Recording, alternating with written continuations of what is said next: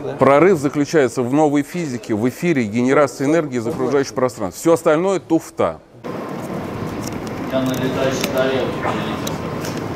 О, только подхожу, снимай, дорогие друзья, и слышу от охраны про летающие тарелки. Вот о чем надо говорить на выставках. Про новые автономные источники энергии на эфире и про летающие тарелки. Это все вот здесь проходящее профанация и отвлечение внимания. Инфракрасная ловушка, как говорит Девятов Андрей Петрович. Прорыв заключается в новой физике, в эфире, генерации энергии из окружающего пространства. Все остальное туфта. Давайте посмотрим, как дурят людей.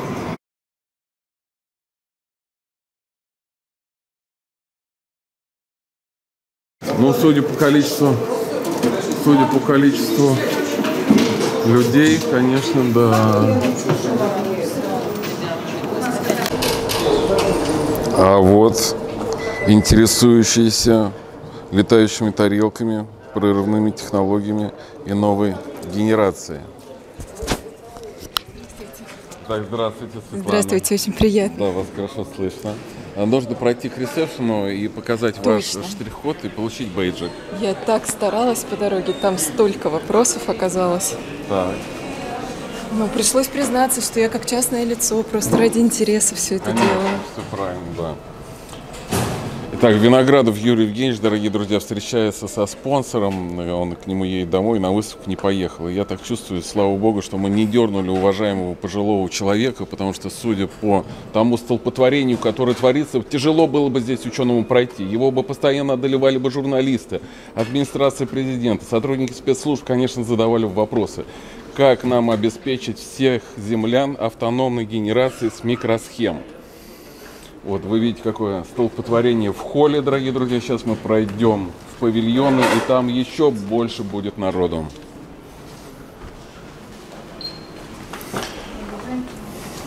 Стихотворение не вижу. Это ирония. Это ирония, что самой актуальной теме э, проявлено такое После внимание. обеда, А? день. Конечно, Пришел после обеда. конечно. Да если бы тут что-нибудь было дельное, то и после окончания тут стояли бы очереди. А так понятно, что это все профанация. Что? А вы думаете, там все туфта, да? А? Думаете, там все туфта, да? Прорыв заключается в новой физике, в эфире, генерации энергии из окружающего пространства. Все остальное туфта. Да, я бы Да. за это, конечно, бы захватился бы. Как, ну, я обыватель, но я бы за это схватился. Смотрите глобальную волну в интернете. Да, Ярослав Старухин. Вот продвигаем летающие тарелки для каждого землянина. Все остальное это профанация. И вот женщины нас, чувствую, поддерживают. Женщины поддерживают? О, так. Проходим.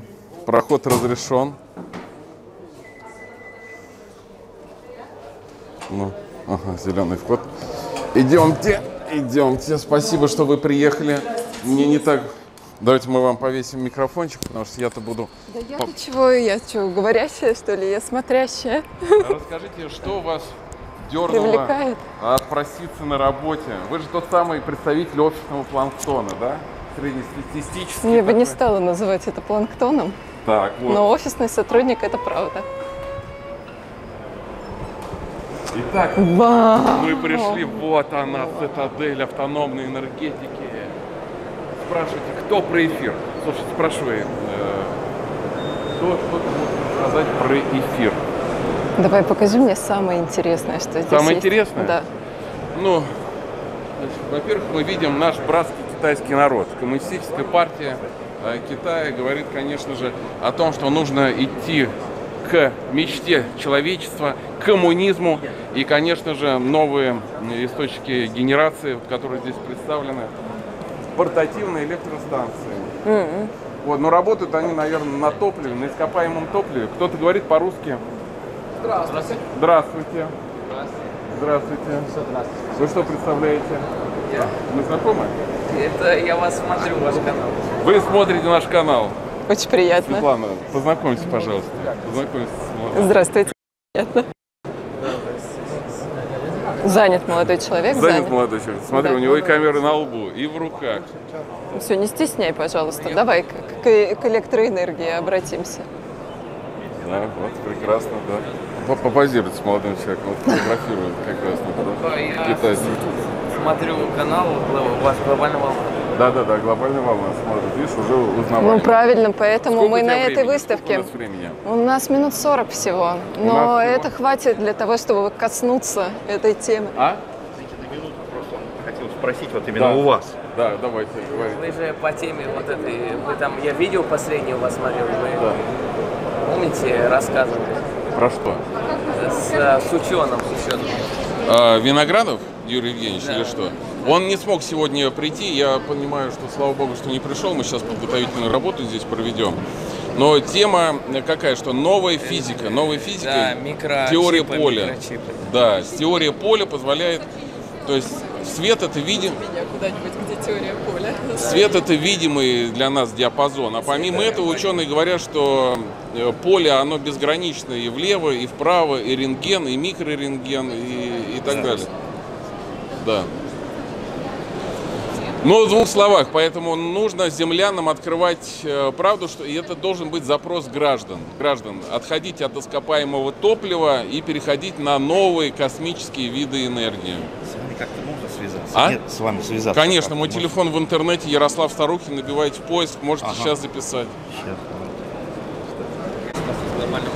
Давно смотрите? Я очень давно подписался. Хотите летающих тарелок, правильно? Да, а улетаешь стрелки, это тема. Летающая тарелка это, в принципе, средство. Речь идет о создании рая на планете. То есть мы как Да, да. здоровые, неагрессивные люди. э, Почему мы боремся друг с другом? Потому что есть какой-то дефицит. Дефицит в первую очередь Ярослав, да? Ярослав? А? Это многие говорят, что невозможно.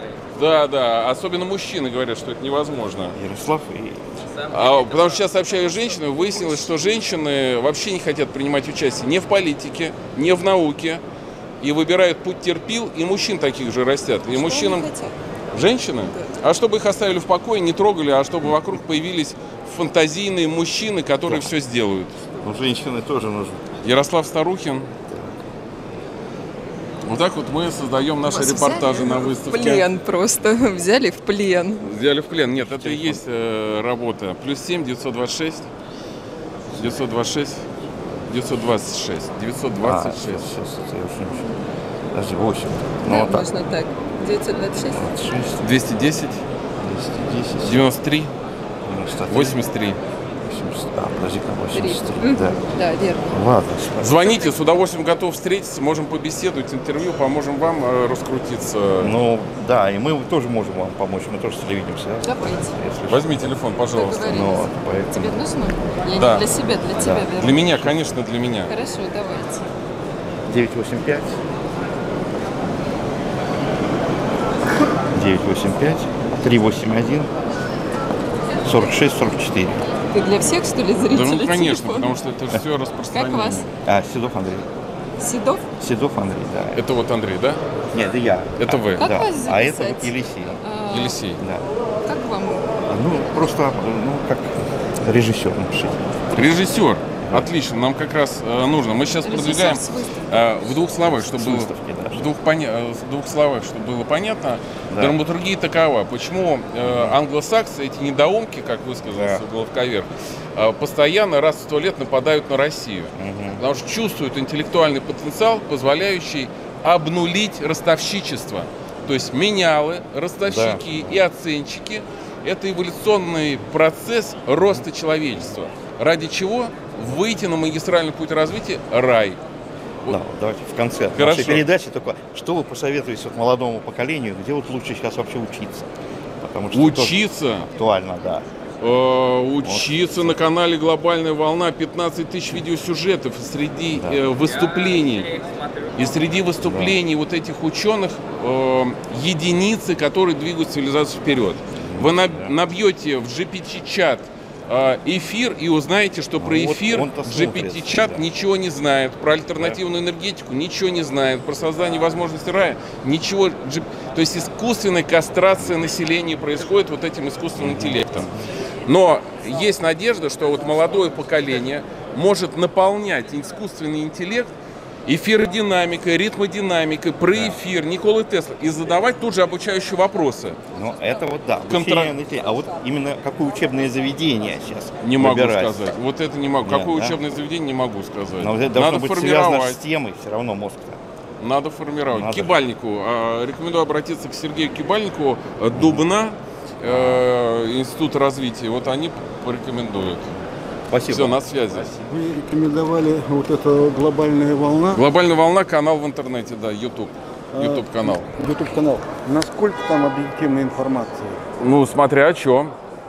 Потому что я как э, ПТУшник рассуждаю, но мне эти вопросы интересны, да. Я э, вот то, что вы говорили про глобальное, да, я понимаю, э, на как- почему это все тормозится на мировом уровне. Я понимаю, что это нефтяники, газовики. Ростовщики, нефтяники. Да, да, да, да, я- э, это я- нефтяники это уже производные. Да, Э, да. Главное это менялы, ростовщики и оценщики. Ну, ну, вот ну, они я- захватили этот мир. Дело в том, дело в том, что а в нашей стране-то пытается это внедрять. Там-то я понимаю, что сволочи все это про политику Наша ведут. страна только-только вырывается из-под санкций, из колониального давления, И вот и, это- о- и общество еще инертно. И вот Поэтому президент наверху, может быть, что-то и хочет, кто-то хочет, глобальная волна хочет, а в подавляющем большинстве массы, И вот это- они как бараны такие говорят, нас не трогайте только, дайте пожить нам немножко. И вот эта война, это причина как раз всех этих этих. э, Это вообще уничтожение русской культуры, русского, это геноцид. Это я понимаю. Это геноцид в масштабах планеты. У- У меня полчаса провести ведущую. Давай, Спасибо. са- Самое Да. интересное. Это все Все самое интересное. Но что тут? Тут это, это хранение, э, Это генераторы. это генераторы, да. Нет, это не генераторы, это аккумуляторы. Это аккумуляторы. Аккумуляторы просто стандартные. Просто стандартные аккумуляторы для хранения энергии, э, которые используются э, в блоках вместе с солнечной э, станцией «Вектор». Смотри, Век- для автомобилей, да, для электрик. Зарядных станций. Сейчас. Друзья, Андрея Темирова где можно найти? Подскажите, пожалуйста.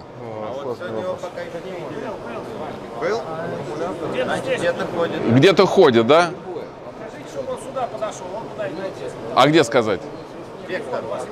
А, я понял, сейчас соединюсь. К Вектору. А у него есть свой стенд здесь? Нету. Все, понял. Так, ищем Андрея Темирова. Вектор. Так, встраиваемые двигатели, преобразователи частот. Ну, можем задать вопрос. Дорогие друзья, а кто-нибудь а, может рассказать про эфир Николы Теслы, про эфирные направления, э, эфирные направления физики? Нет, ви- видите, это все профанация, дорогие друзья. Про эфир... А что такое электричество? Кто-то может сказать? Кто-то может, наверное. Ну, из вас. Нет. Из вас нет. Хорошо, спасибо. Э, ну, ничего страшного. Идем дальше, дорогие друзья. Так. Ну, вот она, выставка возобновляемой энергетики. То есть ты, я-то считаю, что я вот старшее поколение, э, ты еще молодое, наверное. Хотя по, ну не будем раскрывать зрителям, сколько тебе лет, выглядишь ты юно. Э, вот что предлагается вашему поколению. Нефть, газ и вот эти пустующие павильоны на третьем дне выставки, скучающие наноуглеродные материалы. Вот здесь мы можем о чем-нибудь поговорить. А? Вы не скучаете, но есть глобальная волна, которая уже много лет скучает, ибо не видит, не видит новых источников генерации энергии. А вот наноуглеродные материалы, нано, ведь нано это что такое? Нано это 10 в минус 9. Нано это один атом водорода. Один атом водорода 10 в минус 9. И когда материя измельчается до такого состояния, она приобретает новые физические свойства. Например, например, можно взять, изготовить графен, графен, его уплотнить, нанести на проводящий или диэлектри- диэлектрик, и этот графен начинает улавливать космическое излучение. Да, подходили, что нано, эти, господи, нейтринового. Так, не, ну, нейтрино условно, нейтрино как бы это... Уже рассказывал, там товарищ один рассказывал, как кубик сделать, говорит, чтобы нейтринового. Так. Ну, есть э, корпорация такая, э, технологии продвигает. Вы с этим работаете? Вот наноуглеродный материал. Точно. А с чем вы работаете? Мы работали с накопителями энергии. Вот, как вы их производите? Они только накапливают. И, ну, как конденсаторы, и анисторы, э, таким образом. Таким образом, это один из видов накопителей энергии на углероде. На углероде. А сталкивались вы с, с эффектом, э, устройство такое варикап называется, что э, самонакапливание заряда. С таким не сталкивались. А с теорией эфира, с эфирными направлениями физики. Ч- Мы Вот. не, не, не работаем. Человечество кастрировано, дорогие друзья, с момента развития теории относительности. Спасибо. Теслу мы любим, но с эфиром не работаем. Теслу любят, но с эфиром не работают. Это вот, дорогие друзья, главное заблуждение. И наша задача, конечно же, чтобы президент, президент, пока, молодец, как я тебя люблю. Вообще, ты начинаешь вникать, вникать. Тонкое восприятие. Так, нам надо найти Андрея Темерова, секундочку. Вон вектор. О, вообще. Тебе интересно, что здесь происходит? Интересно, что тут Вот происходит. Национальное агентство энергетической политики. Хочешь, я подойду Мне, туда и э, устрою цирк? ага, мне вот не- Андрей Темеров. Андрей. Здравствуйте. Здравствуйте, наша ведущая Добрый Светлана э, Богачева. У нее буквально минут 15 она заехала э, из офиса узнать, что тут интересного. Я говорю, у меня есть самый главный специалист на этой Вы выставке. поделитесь? Он не Да, да. эфирщик, Да. но расскажет, Да. что эфира здесь нигде нету. Да. Но на что интересно обратить внимание? Самое интересное, я тебе должен сказать, вот мы ездили с Ауничкой, а Ауничка, сейчас сделаем рекламу небольшую, а Ауника пишет музыку. А Андрей это тот человек, который занимается и э, возобновляемой энергетикой э, во многих разных видах, и изучает влияние частот на организм, и вместе с Уникой сделали прибор. И этот прибор проверяли на биологических объектах растений, потому что прежде чем применять к человеку, надо проверить на растениях. И делали, сажали зернышки, Да, рост- ну, увеличивается рост растений несколько раз, ускоряется рост. За счет каче- чего? За счет того, что это, музыка. этот прибор э, стоит над, по- вернее, под чашкой, в котором прорастают ростки. То есть там есть частота, музыка, свет и ну, несколько разных технологий, которые ускоряют рост и увеличивают его биологические качества. Это не только происходит с растениями, это происходит и с э, животными. У нас Что, были... клетки активнее становятся или в чем причина? омолаживается организм. Ускоряется, происходит э, омоложение организма, происходит э, Активнее деятельность да, регенерация клеток, да, Восстановление. восстановление. Просто там люди там Процессы быстрее, собака, да? да, собаки там глаза раньше там неделю закапывали, а тут один раз протерли на следующий день у них собаки уже глаза зажили. Понимаете, очень интересно. Для людей многие болезни проходят, люди пьют воду в течение там двух месяцев там э, там рак предстательной железы уменьш- уменьшился, у нас есть факт там желудочно-кишечный тракт улучшился, разные. Но здесь-то мы по другому поводу. Здесь мы Расскажите. да, здесь э, Ренвекс, это ежегодная выставка Ренвекс возобновляемых источников энергии. И здесь вот наши коллеги, компания Вектор, они э, выпускают надежные классные аккумуляторы разного типа, и свинцовые, и, ли- и литиевые, разные. И вот у них большое здесь оборудование, такого нет вообще в России оборудования. Это уже готовое решение, которое просто привез, поставил, подключил солнечные батареи и все. Ты в автономе можешь работать, и экономить можешь, и продавать можешь. Ну и Как коммерческое предложение? это как и коммерческое можно, да, ну как для Для частников. кого это применимо? Это, это применимо для любого завода, у кого есть проблема с киловаттами. Вот Есть- Сколько, какой технический параметр? Двух Ну, вот это, вот это стоит на 75 киловатт, а вообще у них есть решение на 350 киловатт и больше. Это применимо там в северных регионах где-то можно сделать. Сейчас я вас с Сергеем познакомлю. Сереж, иди сюда. Сереж. Сереж. Это вот руководитель компании Вектор, они занимаются уже много лет аккумуляторами, и при этом качественными аккумуляторами. У них есть линия отдельная, это линия карбон, которых вообще практически никто не делает. Они первыми завезли их, и мы их оттестировали. И уже ну, в течение 4-5 лет эти аккумуляторы свинцовые стоят на объекте в поле. То есть это говорит о том, что высокое качество аккумуляторов. Да, потому В что высокоцикличном режиме. да, причем каждый день происходит цикл заряд-разряда, и мы это как раз наблюдаем и смотрим, что э, аккумуляторы соответствуют, скажем так, заявленным характеристикам производителя. Потому что есть такие, которые говорят одно, на самом деле другое. И мы это проверяем, как наша ассоциация «Зеленый киловатт».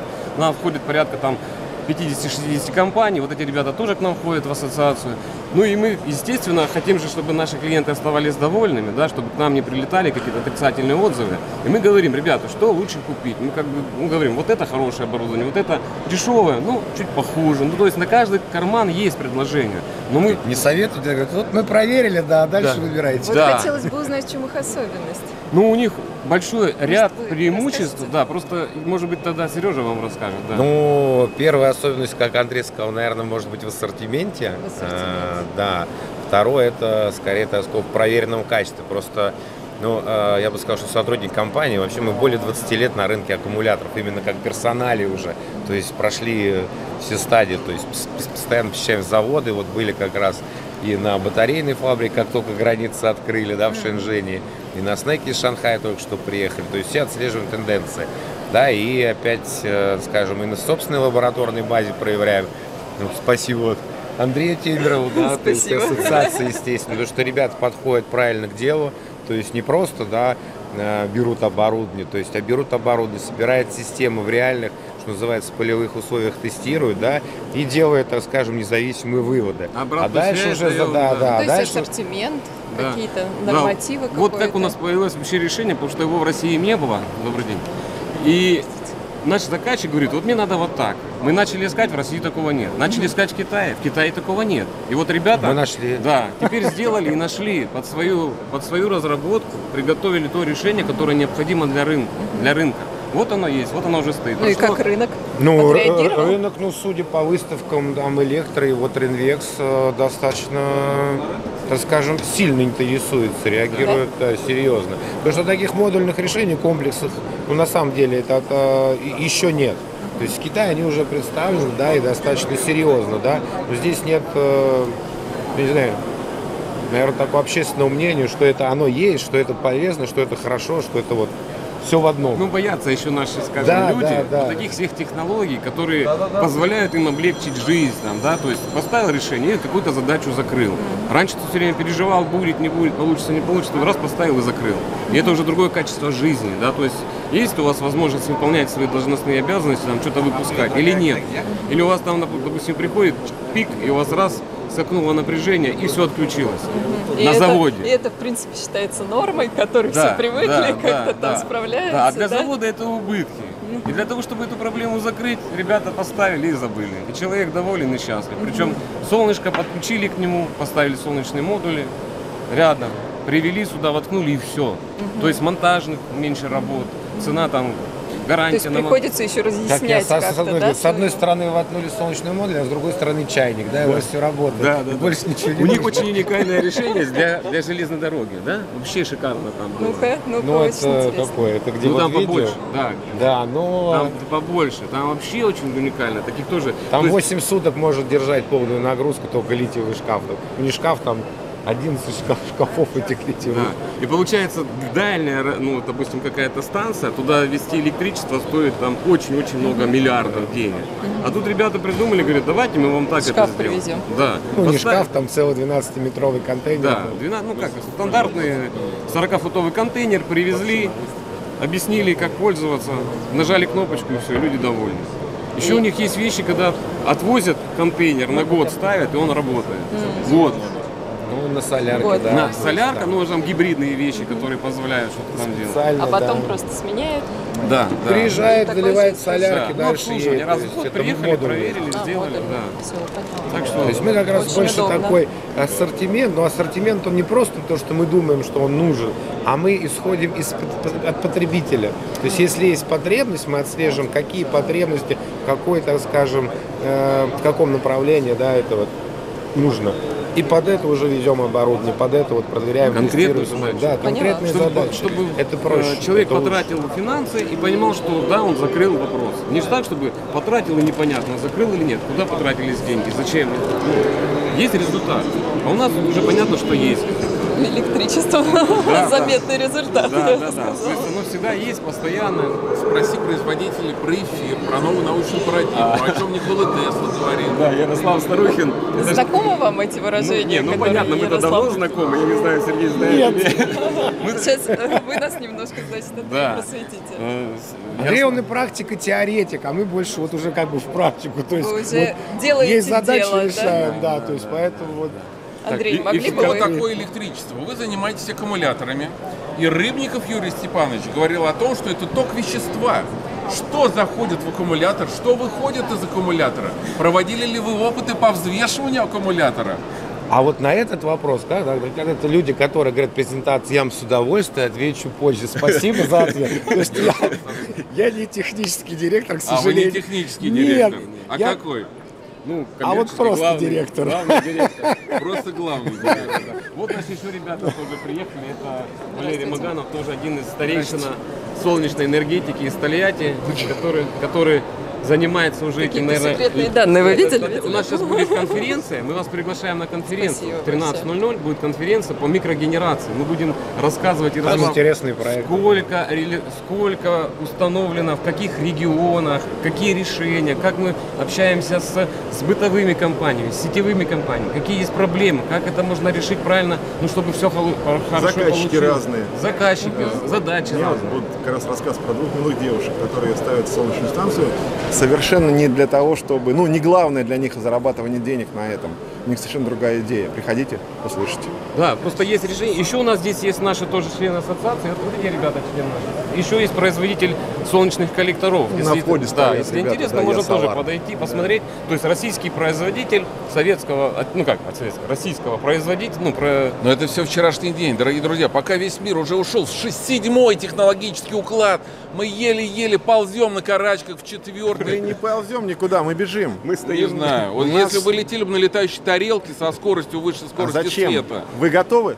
Лично вы в нее сесть и полететь. Основная масса наших клиентов приходит примерно с такими же мыслями. А я слышал или читал в интернете, что? есть вот такие солнечные панели. Я говорю, здорово. Это разработка того или другого университета. Молодцы, для этого они существуют. Но когда это будет во всех магазинах страны, тогда нам это будет интересно. Старухин, Это зависит за от нас. за Это зависит от Тот нас, эфир, когда который- это появится. Если общество будет проявлять эм, позицию инертную, то тогда в Государственной Думе заседают люди, которые не выделяют на науку. И статистика это показывает, и количество эм, обращений в патентные ведомства это показывает. То есть мы отстаем, и на это надо обращать внимание. Согласен с вами полностью. И если бы не наша ассоциация «Зеленый киловатт» и наши активные члены, закона бы о микрогенерации не было в России. А он есть с нашей Слава помощью. богу, да, вот он начал двигаться. Я уже тоже подключил станцию свою, Я уже два я года уже продаю. продаю Вот мне, конечно, киловатт-часы. Признаться, но я не знаю, что такое микрогенерация. Зеленый тариф. По-русски говоря, на- солнечная станция вырабатывает электрический ток, и все, что я не потребил, все излишки я продаю обратно сетевой компании нашей. Ну, каждый, каждый, э, абсолютно. Да, и получается за счет того, что мы экономим, то есть вводим сальдо в ноль, а потом еще и продаем избытки, мы эти денежки ставим в стеклянную банку, а потом эти деньги тратим зимой, когда мы много тратим электричества. И вот у меня баланс моего личного дома, у меня большой дом, ну так получилось нечаянно, я не хочу его пилить, не могу, нет такой пилы, я в ноль свел по итогам вот этого года. Вот на 1 апреля у меня был ровно То год. есть содержание, То есть я содержание, электрическую энергию за лето, за лето я продал столько, что мне хватило на оплату зимы. Как-то это у нас государственно устроено. Да, это закон, продавать, конечно, да? да, есть закон, Вот про постановление. этот закон вот через Мы 15 пока очень 20 дорогой минут вход в эту генерацию. Уже нет. Пойдемте туда, уже, Уже 12, нет. Простите. Да, да, да. Пойдем, пойдемте туда. все Идем куда идем? Идем на конференцию о микрогенерации реализованные проекты. Восьмой павильон. У тебя сколько времени? У тебя есть Я время? сейчас поеду уже, нет, к сожалению. Я приду. Сейчас мы пройдемся по выставке. Хорошо, благодарю. Пошли пройдемся э, в, в эту в ассоциацию. Э, вы в какой павильон идете? Здесь проход? Ага, хорошо.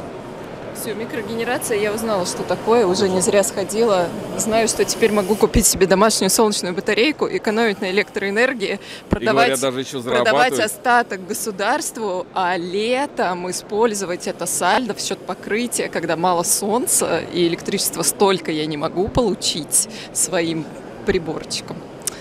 Вот. Я рада. Ставьте вас. Здравствуйте. Национальное агентство энергетическая Можно к вам политика. в гости? Национальное агентство это государственное или это такое название просто национальное? Национальное достояние. А? Национальное достояние. Национальное агентство?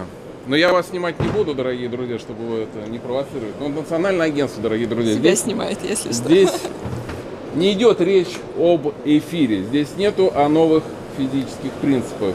Здесь не говорится о создании новых средств перемещения в пространстве.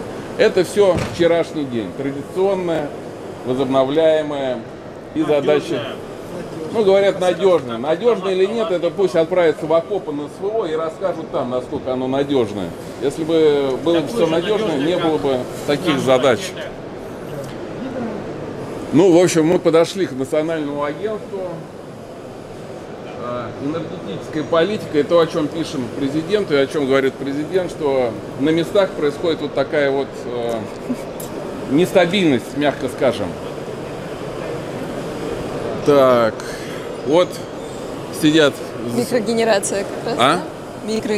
Смотри, малая гидроэнергетика, помимо солнечной Малая батареи. гидроэнергетика. Это что? Это включаешь краны, пока ты чистишь зубы, там что-то где-то динамо-машина вырабатывает электричество. Да, для мультика это очень хорошо подойдет. Но вначале какой-то насос, же создал это давление. Микро, ну, микро все равно, оно же куда-то девается. э, есть малые реки. Имеется в виду, что есть малые реки. А, блин, это не для частных хозяйств. И населенные пункты, которые стоят на этих малых реках, могут гипотетически, теоретически, М-м. если бы не реформа Устроивать. Чубайса и не развал Советского Союза, то могли бы... Малые генерации электроэнергии. Да, Очень интересно, Ярослав, спасибо тебе большое. Вот малая ветроэнергетика. Тоже для сада прям можно. Ну, типа для сада, да. Только подавляющее, а, подавляющее большинство населенных пунктов находится вне м, территории, где постоянная ветровая нагрузка, поэтому это Для опять все страны это- для, для населения это профанация. Это хорошо для удаленных для удаленных промышленных э, технологических точек, для Газпрома, нефтяников, РЖД, для военных, где надо обеспечить функционирование определенных датчиков, слежение за горизонтом, под водой или еще где-то. Все верно говорят. Все правильно рассказываю? Вот, видишь. То есть очень узкая такая речь, а для того, чтобы оснастить 7 миллиардов или 9 миллиардов населения, то это только эфир. Это все, конечно же, ну, чтобы не обижать производителей, ну, э, технологическая профанация. И, и, э, в настоящем промышленном дизайне это, конечно, решение сегодняшнего То, что дня. существует сейчас, Да, на то, данный момент. Да, но это как э, автомобиль, то есть это вчерашний день. Вместо того, чтобы летать, мы продолжаем, как идиоты, пользоваться колесом тысячи лет. Ну, нам рассказали, что тысячи лет, на самом деле все не так. Кстати, дорогие хороший друзья. вопрос, почему? А? Эфир? Очень хорошо, что вы задали этот вопрос.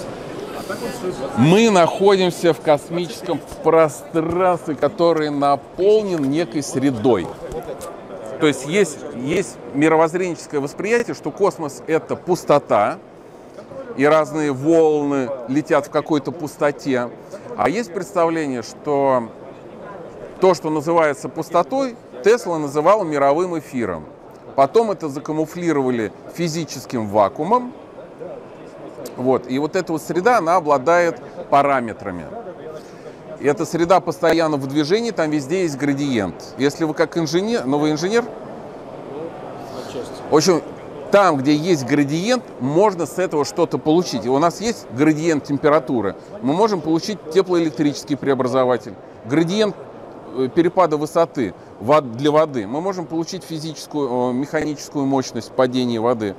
Если мы в пространстве имеем градиент, то мы можем на новом приборном уровне, мы создаем микрочипы, на одном квадратном сантиметре миллионы уже транзисторов находятся. И то, что вчера считалось малоэффективными шумами электрическими, то мы можем это с одного квадратного сантиметра получить 10 ватт 20 ампер. 10 ватт 20 ампер с микросхемы. И на глобальном уровне это все сдерживается кем? Менялами, оценщиками и ростовщиками. Вот в двух словах. Спасибо. Как начали с эфира, а закончили менялами. Очень высокотехнологичные разработки, У вас? которые доступны... Нет, конкретно про эфир. А, про эфир. Да. Высокотехнологичные, скорее всего, в России я таких не слышал. Я понимаю, что в Тайване это уже достигли, и, возможно, в Тайване что-то такое выпускается. Вы слышали про Тайвань, что они эфирные генераторы делают? Ну, по-моему, что-то такое там я про платы такие слышал. Это очень интересно. Спасибо Очень большое. Все, что я могу сказать. Изучим. Да. Спасибо. Спасибо большое. Спасибо. Спасибо. Прекрасно, ко мне потихонечку нужно. Вам пора уже? Там, конечно, прекрасный буфет виднеется, я бы с удовольствием. Ну давайте, я должен вас накормить. Нет, нет, нет. Нет? К счастью, ой, к сожалению. Я сам еще не завтракал, считаю.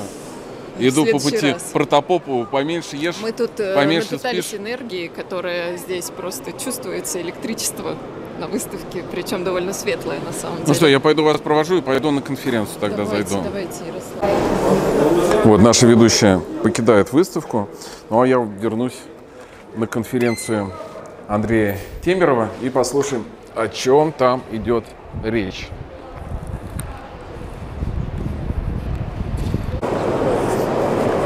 Так, по дороге решил зайти на второй этаж, чтобы посмотреть, что здесь представляют.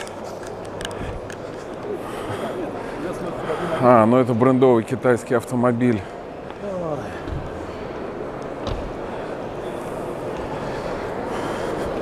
Да, что-то мы такое аналогичное видели. Электрокар, город Екатеринбург, мама Севера. Это что такое?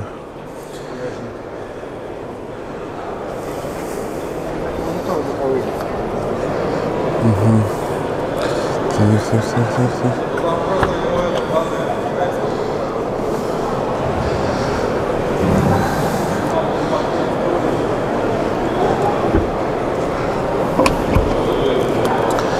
Ну что, друзья, карет можно сделать с салоном каким угодно. Это все, конечно, не критично. Главное, как запитывается эта вся колымага. А здесь нам представлены подзарядки. Подзарядки для тех самых электромобилей. Да. Ничего прорывного. Ничего такого. Так, это у нас Honda электрическая.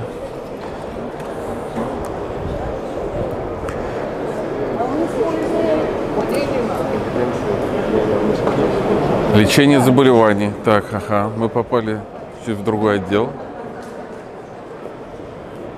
Рядом с электричеством, лечение заболеваний.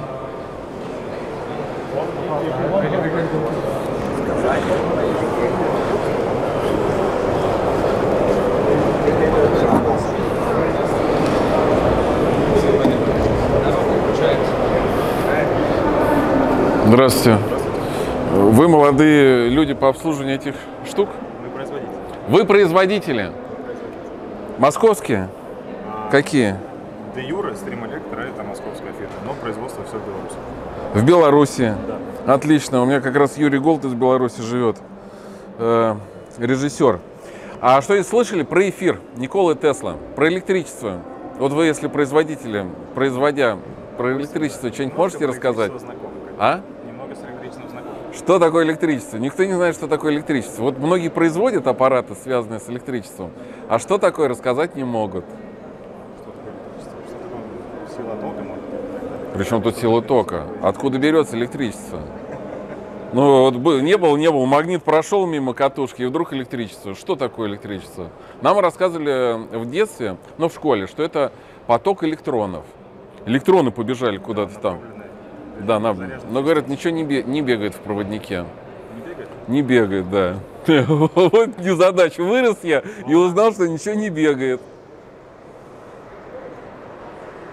Я готов услышать тогда, что такое электричество. если- Ну, это описывает Никола Тесла в своих работах э, видение, что есть мировой эфир, что мы находимся в неком поле.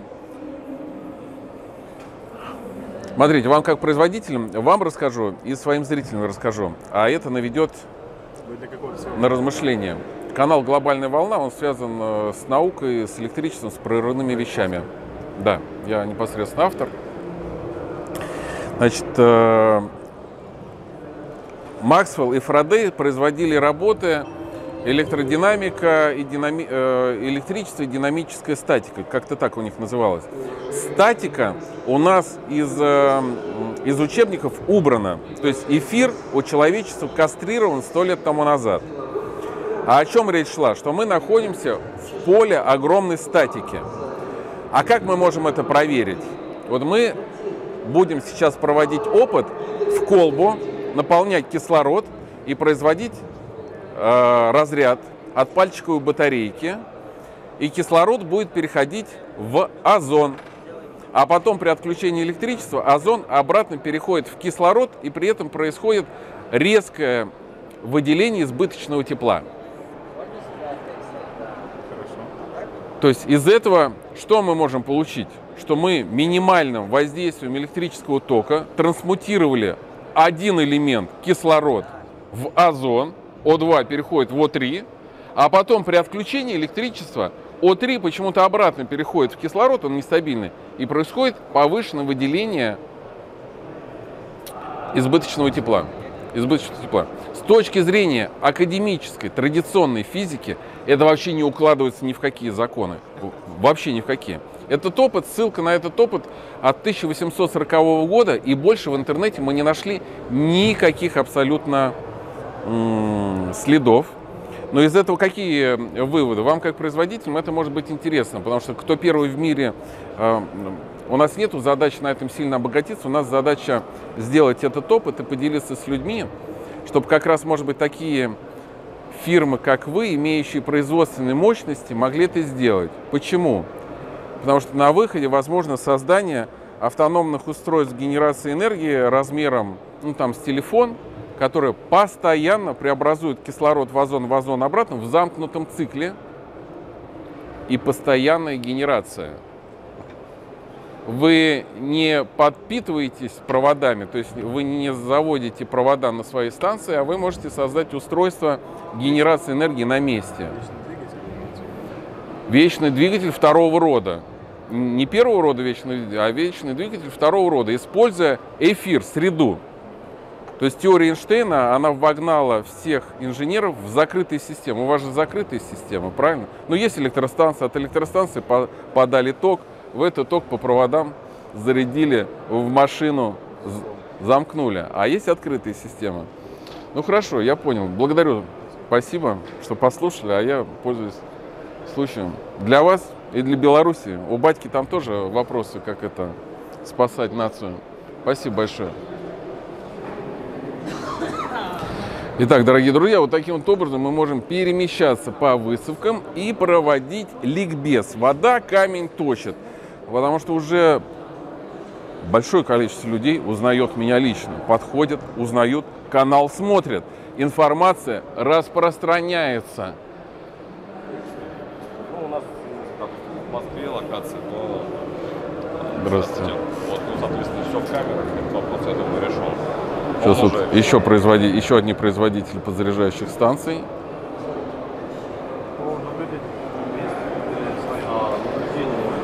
Ну, здесь заняты. Можем пойти дальше. ЕОС, ДКС. Здравствуйте. Здравствуйте. Источники бесперебойного питания. Совершенно верно. Более Жо- того, еще солнечные инверторы, зарядные станции для электромобилей. Вы инженер, Артем? А По образованию, да. Сейчас менеджер по продукции. Могу ответить достаточно компетентно. Не-не, меня интересуют эфирные преобразователи. Эфирные преобразователи? Эфирные преобразователи. Слушайте, давайте тогда в понятиях разберемся. Вот так сразу у меня Не включается. Да, да, да. Друзья, я же говорю, человечество кастрировано. Никола Тесла создавал свои электрические машины, исходя из теории эфира. Представляете? Слушайте, что-то, что-то вспоминается. Вспоминаете, да? Вспоминается. А сегодня, ведь я абсолютно убежден, что если вам задать вопрос, что такое электричество, вы не ответите. Не ответите. И ведь никто, не- никто в мире из ученых не стесняется сказать, что они не знают, что такое электричество. Вот ток – это упорядоченное движение заряженных частиц. Напряжение, А что радость- такое частица? Радость потенциалов. Ну и дальше, да. А вот про, про электричество я признаюсь, да, Тут- подписываюсь. Тут блуд, знаете, где начинается? Как только мы попытаемся дать определение полю, заряду, массе, и тут вся наука поплыла. Нету, нету единых определений. Вообще нету, каждое о своем. Соглашаюсь. Так. А что, у вас, может быть, есть опытная лабораторная база какая-то своя собственная? У нас есть электротехническая лаборатория. Мы вообще Да? с нашей компанией знакомы. Компания. Не-не-не, давайте я вам расскажу. Давайте, вам как инженеру будет очень интересно, Я какой опыт, какой опыт мы проводим в своей несертифицированной, абсолютно домашней лаборатории. Мы берем сосуд, в сосуд наполняем кислород, в сосуд опускаем э, электрод титановый. Это очень важно. Титановый. Титановый. Допустим, мне пока это ни, ни о чем не говорит. Не титановый. Или платиновый. Платиновый? Платин, Какой-то платина. сверхпроводник, очевидно. И не сверхпроводник, чтобы он не окислялся в кислородной среде. Подаем статику очень низкого напряжения, сил, очень малой силы тока, но высокого напряжения. Да, очень малой силы тока, но высокого напряжения от пальчиковой батарейки. И начинаем кислород переводить в озон. Есть вопросы к эксперименту. От пальчиковой батарейки высокое напряжение вы получаете. Да. Для вас высокое напряжение это сколько?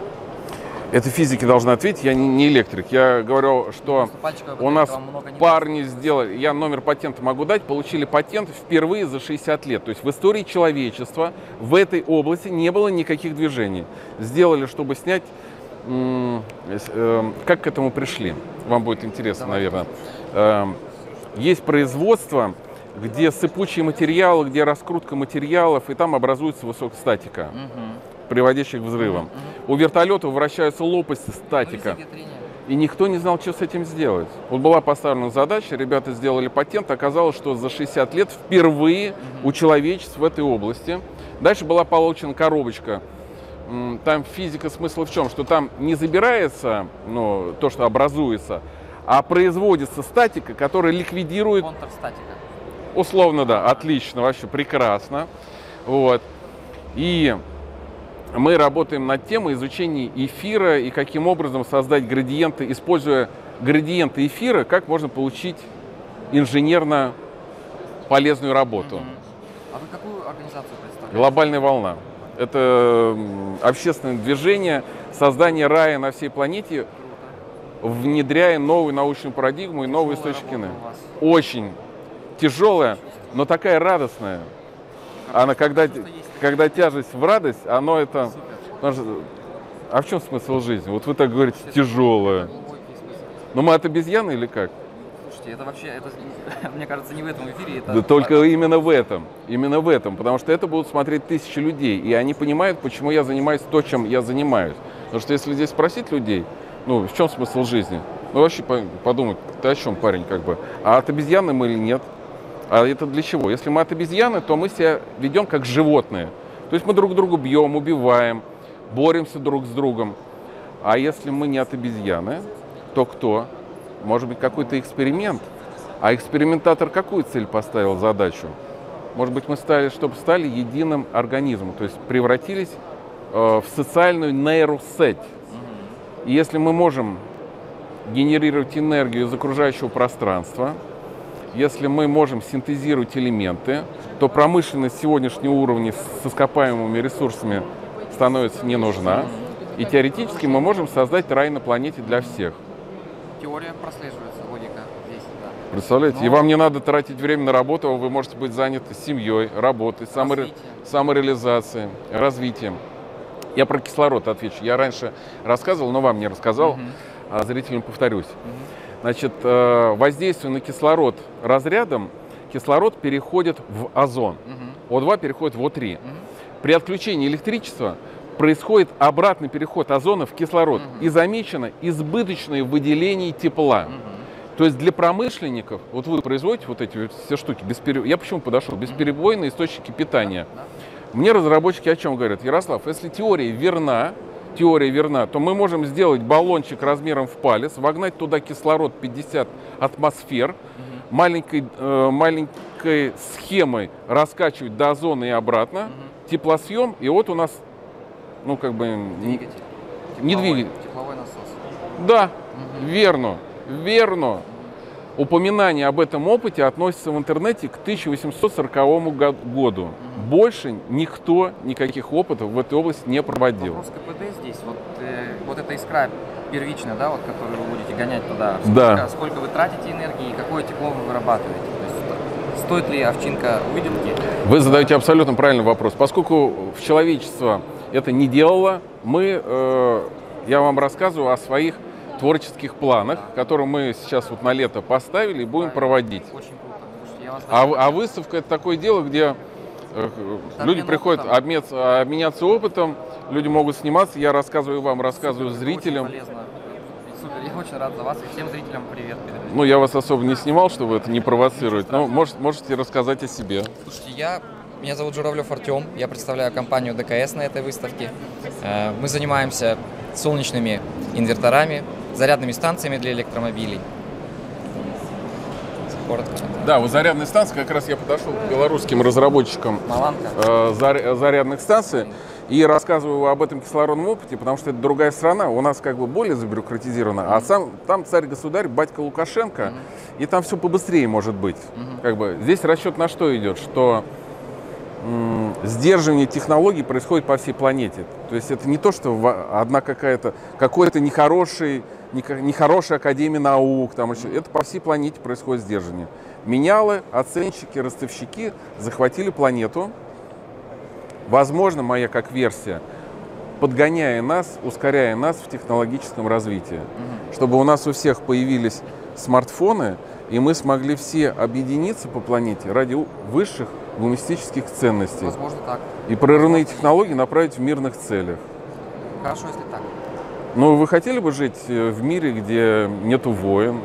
Мне кажется, нормальный, здравомыслящий человек, конечно, хотел бы жить в таком мире. А как вы считаете, мы можем договориться? Слушайте, вы читали книжки братьев Стругацких? Вот, их миры. Знакомы с их творчеством? Не особо сильно. Вот, э, вот эта теория, она, э, ну, это утопия. Договориться это- всем. Конечно. Договориться всем это С утопия. момента того, как э, люди, у людей появились разные языки, ну, то есть, э, одно дело, что, что человек подумал, второе дело, то, что он сказал, третье, то, что другой человек услышал, и четвертое, то, что понял. То есть, это уже здесь происходит потеря информации, а плюс еще если к этому добавить разные языки, ну, на разных языках договориться. Разные языки влекут, разное мышление, образ жизни и так далее, Вам- разные интересы. Вам будет очень интересно, Артем. У меня на канале 15 тысяч видеосюжетов. 15 тысяч видеосюжетов. И мужчины в подавляющем большинстве не верят, что можно договориться. И не верят, что можно создать рай. Очень хотел. А женщины, население же у нас это 50 на 50, плюс-минус 55, как бы. Ну, плюс-минус как бы. А женщины верят, что можно договориться и можно создать рай. Верят. Верят. А мужчины не верят. Почему не верят? Такую в нас заложили программу. Ведь мы же боремся, э, потому что есть дефицит. Если убрать дефицит, что нам останется бороться? Даже если мы ну, обидим друг друга, оскорбим, ну до какой степени мы начнем друг другу члена вредить? Если нет угрозы, ну, там, вашим потомству, ну, когда надо бороться за, ну, за ореол обитания, за ну, продовольственную безопасность, да, за ресурсы, за ресурсы, да. То есть мне видится идеально своим идеализированным мозгом, что если нам не надо бороться за территорию, за воду, за питание, только за женщин остается бороться. А женщины такие существа, что они сами выбирают. То есть ты силой как бы можешь ее победить, как бы. Она говорит, а не люб ты мне, и все. И опять получается, что двигаться надо договариваться. Артем, большое вам спасибо. Вам было интересно послушать? Да? Спасибо, всего доброго. До свидания. Ну дорогие друзья, вот э, чем больше будет таких вот коми-вояжеров, э, зарядные станции для электромобилей. Смотрите, Эпрон. Ну что, еще посетим одного производителя зарядных станций. Мгм, мгм, мгм. Нет, тут, тут- тут люди заняты, отвлекать не особо удобно. А нас внизу ждет Андрей Темеров. Ой, извините, Бога ради, простите. Создаем зарядную информацию. Ну, в принципе, дорогие друзья, э, смысл в чем? Что э, одному, второму человеку на выставке я рассказал, и таким образом информация будет передаваться по участникам выставки, не обязательно проходить все павильоны, чтобы до всех донести. Мой номер плюс 7 926 210 93 83. И, соответственно, вот давайте подойдем. Здравствуйте. Вы готовы сняться на видео о вашем павильоне? А а вы производители, технологи? Нет, мы университет. Вы Мы про- технологиями СИС. Ну, университет, да, но разбираетесь э, в тонкопленочных вот состояниях, что там происходит? Мы готовы рассказать только поверхностно, а если вас интересуют тонкости производства, либо тонкости технологий, тогда мы вас сможем познакомить, либо соединить с нашими специалистами. Но они не здесь, они где-то. Они принимали участие а, в мероприятиях деловой программы. И сейчас принимали были. участие да. Сегодня, Сегодня, к сожалению, день. другое мероприятие параллельно, поэтому не смог. Мгм. Ну, Хорошо. Э, Я был на одной из выставок, и там э, показывали э, панель, которая работает в темноте. То есть в темноте. Это вот ваши панели? А что улавливает эта панель? Фотоны. А? Откуда берется энергия? А вы знаете? Вот они, вот они должны... Откуда? Из эфира ведь берется. Откуда? Нет, что является переносчиком? Приносит. Фотон. Вам же сказали фотон. А что есть фотон? Ну, это мы не знаем. Это заряд какой-то там. А официальная наука не дает ответа. Значит, вы та самая, то самое покрытие, которое работает в темноте. Ну, не, в- не в кромешной темноте, конечно. Очевидно, есть какая-то невидимая часть спектра, которая тоже несет Да. энергию. Ну, рентген видимый или невидимый? Ну, невидимая. Невидимый. Ну, правильно. Поэтому невидимый для нашего глаза. Наш же глаз очень Да, ну примитивное я- устройство. Ну ладно, тоже неплохое. Я имею в виду для регистрации Для а, УКВ, рентгена. Я говорю, примитивное. примитив- А про эфир что-нибудь слышали вы? Скажите, пожалуйста. Ночной эфир стоит зефир. Вот это отлично, уже хороший подход. Это вот Ростехнадзоре работает. Просто постоянные звонки. Вас потеряли. Так, э, вот, вот рекламка, да, ваша? Нет, это курс повышения квалификации. Э, где на сайте вас найти? Вот внизу, контакты. Угу, угу. Москва, Ленинский проспект. Способ защиты порошков, гидрообразующих сплавов. Ага, другое. Не пироски. Пироски вот, вот остались. Информация, можете сфотографировать. Мгм, А мгм. Там данные есть.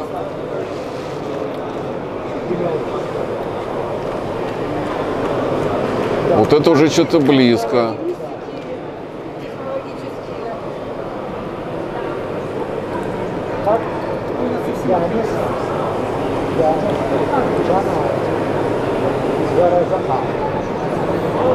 А вот оно блок питания.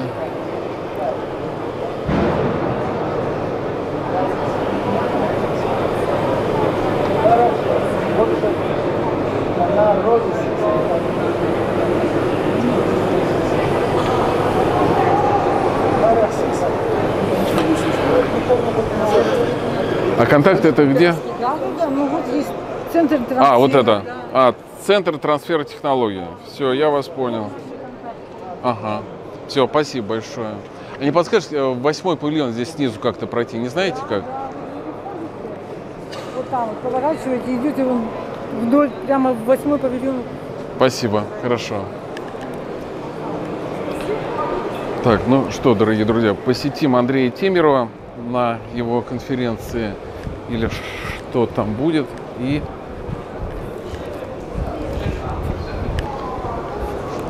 видимо.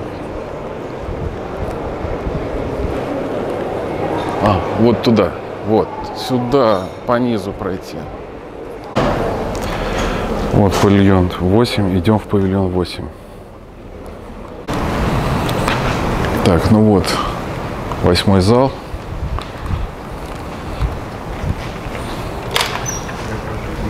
понимать, что э, станции стали гораздо быстрее и эффективнее э, возвращать вложенные инвестиции клиенту.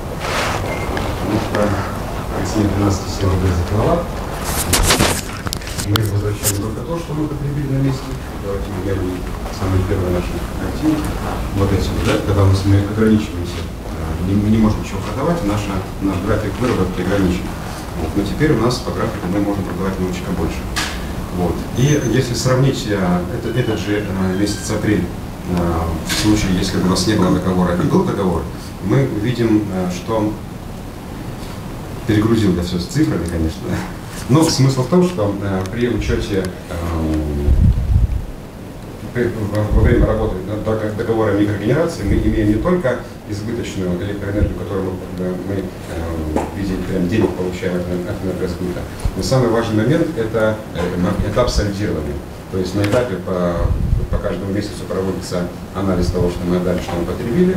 Вот. И вот как раз таки то, что у нас осталось, хвостик, либо с плюсами, либо с минусом, мы либо доплачиваем, либо нам его возвращают. В данном случае мы видим, что если бы не было договор, договора микрогенерации, то по этому же по месяцу апрелю э, экономия составила всего лишь 55 тысяч рублей, потому что сэкономили бы мы э, в пересчете на цифры киловатты 94 тысячи, а заплатили бы по счету за электроэнергию 39 тысяч. Но с договором получилось так, что мы сэкономили 138 638 рублей. Это в два с половиной раза больше, чем без договора микрогенерации.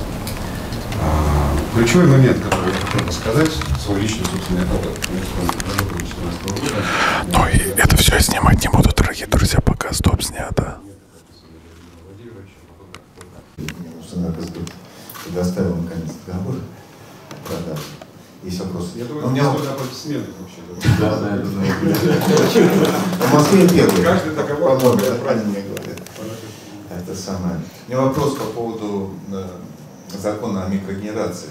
Насколько я понимаю, там 15 киловатт максимальной мощности, вы установили 55. И на юрлицо. То есть как, как это все? А, 400? Установили почти 300. 300. То есть как Ну, это у нас- бытовые компании Но приняли? сегодня мы, мы имеем лимит возможности вот на почасовке продавать не больше 15 киловатт сверху. Но установленную мощность они не ограничили Там вас. все потребляется само. И договор у вас на юрлицо. Вот это как раз хороший случай, который показывает правильность подбора оборудования и решения задачи. То есть у человека понятное потребление, ровно загруженный график потребления, и, естественно, э, ровно дающее солнце закрывает этот график потребления.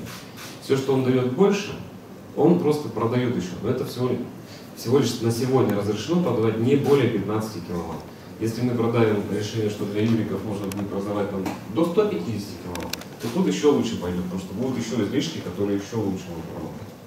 продолжение того, что сейчас Андрей сказал. А, Две недели у меня идут переговоры с потенциальным клиентом. У него уже стоит электростанция, по-моему, около 50 киловатт, и я его убеждаю, что с его потреблением нужно еще минимум 100 ставить. У него есть э, финансовая возможность, и у него регулярное 7 дней в неделю потребление ну, достаточно высокое. Он мне говорит, а зачем? По 3 рубля, там, ну по 4 рубля, ну неинтересно. Я говорю, при чем здесь 4 рубля? Я тебе говорю про то, что ты будешь сальдироваться. Ты будешь за те же самые 10-20 эти киловатт-часы зачитывать. Обыкновенная бухгалтерия. Съели миллион, сгенерировали 999, к оплате 1. Вот он эту математику никак не может понять, две недели переговоров ни к чему не привели. Вот он во вторник приедет в офис. Будем, Скину свою презентацию, покажу. будем с калькулятором. Да. Да, дело в том, что Потому что иногда люди просто вот этого нюанса не понимают, что не, не цена продажи это глав- главное, особенно для юрлица. Это хвостик, который может быть будет, а может быть не будет. Вот. А главное вот этот вот зачет, именно сальдирование. Сальдирование именно по киловатт-часам. Поэтому Да, не по всех, рублям. всех, кто подключился к микрогенерации, я прошу в обязательном порядке получать э, по часовке. В них все очень четко видно. Пишите Потому что я уже столкнулся, но я свой тоже расскажу, но обязательно всех прошу собирать по часовке. Если у кого-то какие-то есть вопросы, звоните, пишите, мы подскажем, расскажем, куда обратить внимание, как правильно написать письмо, чтобы отреагировали быстрее с бытовые сетевые компании. Для образца пришлем свои почасовки, потому Да, что да, это на самом деле очень важно. И даже не потому, что вас хотят обмануть. Э, К Просто великому не знают. сожалению, да, в 90% случаев люди не знают, как с этим работать, э, как с этим бороться. Хотя закон написан ну, достаточно понятным языком именно для сетевых компаний и бытовиков. Олег Богданович, спасибо большое. Я смотрю вопрос. А, есть вопросы? А, есть. Олег, Вов, э, я как э, физлицо. Договор чисто ежемесячный расчет. Больше у вас ваша энергосбытовая организация не заключает на другие периоды, да? Ну почему? Каждый месяц. Он заключен как бы бессрочно, и каждый месяц проходит какой-то Ну да, этап ежемесячный расчет. электроэнергии. Ну, конечно. Сальдирование месячное прописано в законе. По-другому пока не будет. Пока не будет изменен закон федеральный. Вообще просто мне за год э, удобнее было. Всем удобнее. Мы работаем над этим вопросом. Так, спасибо большое, Олег Все, Николаевич. спасибо большое. Да. Я хочу отдельно сказать спасибо большое всей ассоциации «Зеленый киловатт», к счастью, которой я являюсь неотъемлемой нашей корпорации, и э, вот площадке «Экспоцентр» за такую уникальную возможность. Спасибо. Спасибо. Следующим приглашаю выступить.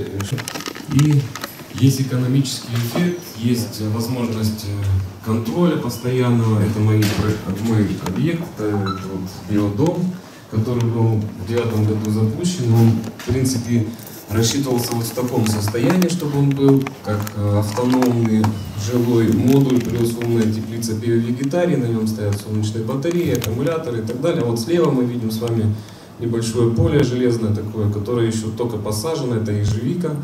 И вот дальше, когда начал э, вступать закон в силу, микрогенерации, мы приняли решение и решили сделать нестандартный ход для того, чтобы создать тень для наших э, растений, то есть полезную тень, которая летнюю жару убивает наши ю- ну, растения, растущие на юге. И вот э, мы вот, вот таким образом поступили. Установили 30 киловатт солнечных модулей Hello, гетероструктурные, поставили сетевые инверторы, которые помогают нам это все реализовывать.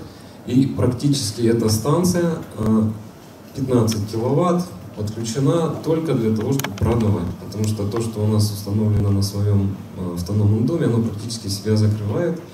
Вот эта станция, сейчас я про нее расскажу. Вот как хорошо, замечательно себя чувствуют растения. Это прошлый год фотографии, они тут еще небольшие. Вот такие. А вот, вот, вот сейчас уже вот это, это уже этого года фотографии. Прям уже лес такой. И очень все так хорошо растет и цветет. Вот так это выглядит сверху.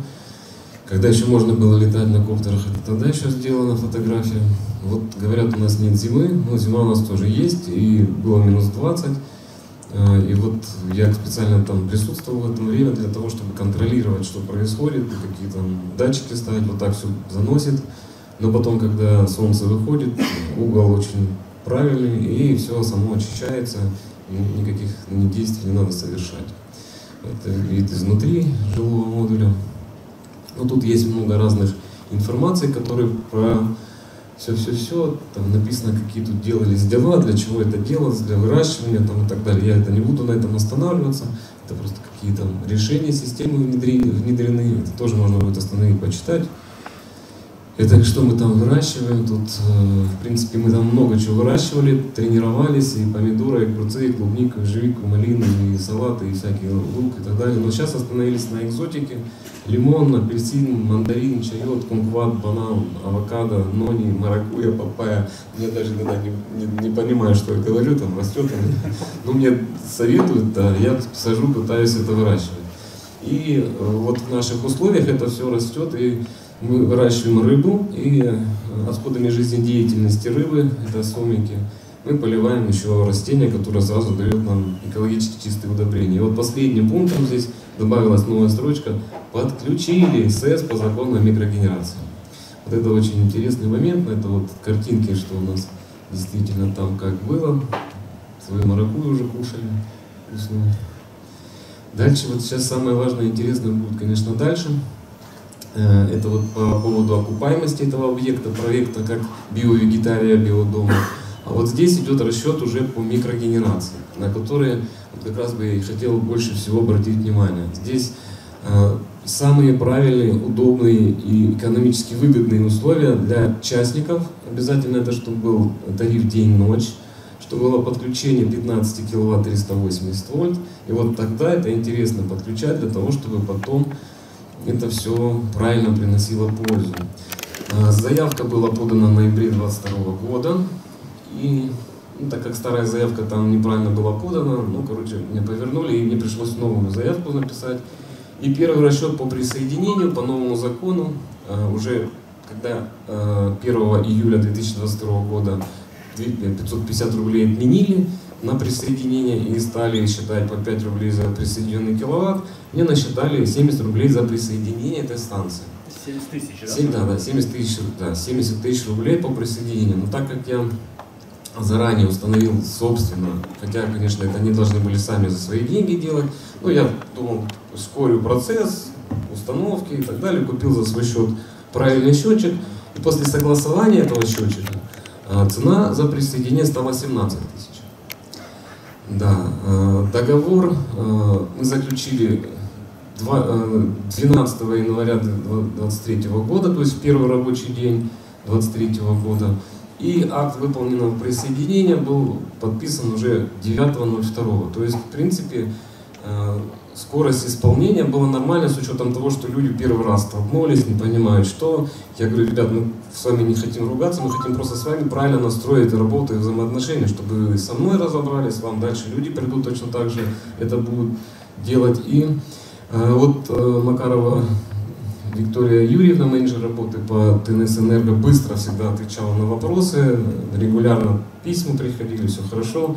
Ну, были какие-то нюансы, но мы их решали. Это рабочий, нормальный момент. И вот э, Верещагин Сергей Петрович, начальник отдела техприса Тимошевского отделения Россети, тоже очень грамотный мужчина, мы с ним встретились, поговорили, сразу поняли технические как бы, друг друга моменты и начали выполнять присоединение. Приехала команда, установили видимый разрыв, это ящик с рубильником, хотя по факту вроде как он не нужен, но у них ПУ написано, надо, значит надо, но сделали, все хорошо, установили симку в счетчик, и мы начали вот с 9 февраля начали уже э, генерить и продавать. За, за месяц март э, мы нагенерили и продали 465 киловатт-часов, и цена за киловатт-час э, выкупа 6 рублей 28 копеек.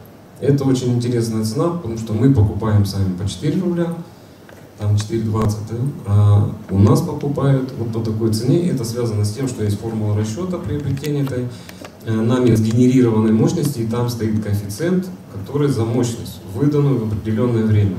В то самое пиковое время, когда она самая дорогая, эта мощность нам как раз и доплачивают. Это все в договоре есть. Вот э, Евгению мне сегодня тоже показывал договор, у них такого нет в договоре. Я говорю, так это значит надо с ними разбираться для того, чтобы подсказать, что мы в одном государстве живем, вот договор, давайте в наш договор напишем точно так же, таким же образом будем рассчитывать.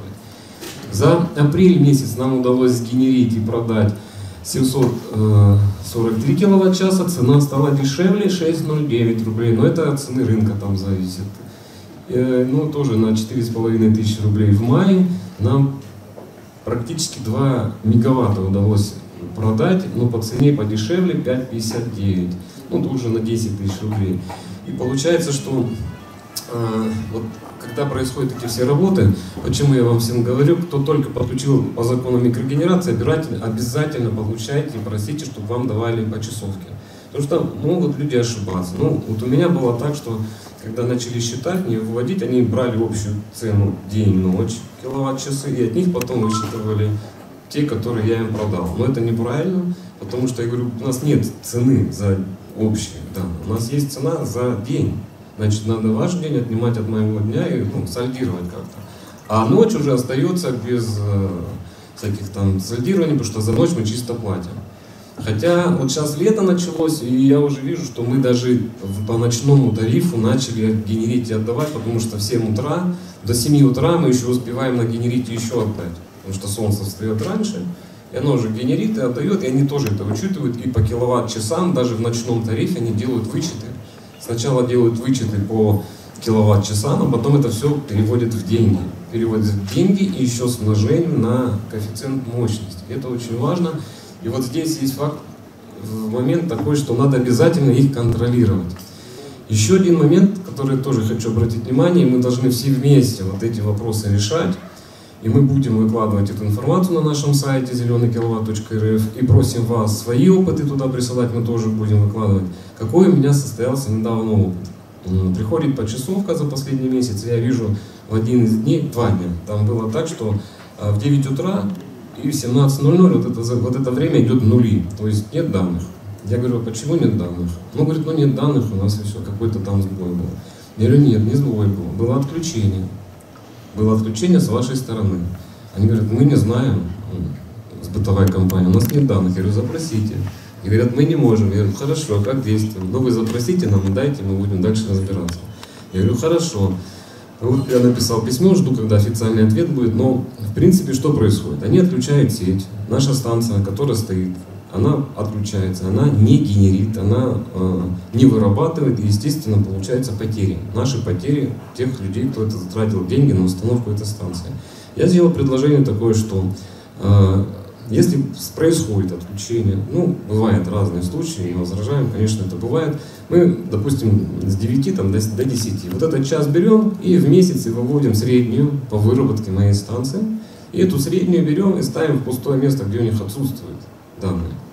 И таким образом мы каким-то образом пытаемся себе компенсировать то, что наша станция не довыработала. Даже это мало, наша бы станция была, была, дала бы больше, но хотя бы в таком формате это прозрачно, понятно, логично, и таким образом мы можем тоже с ними поработать, попытаться продавить такие решения, но это нужно думать, как, как это они там смогут у себя провести, не смогут у себя.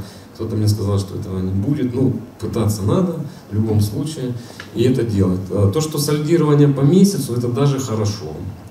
Вот Валера правильно сказал, что по месяцу можете сальдировать, летом вы больше получили, положили в карман, потом зимой достали и продали. В Ереване, там, в Армении это по году, да, это интереснее. Но э, давайте просто посчитаем. Если я покупаю по 4, продаю по 6, мне вообще сальдирование не интересно.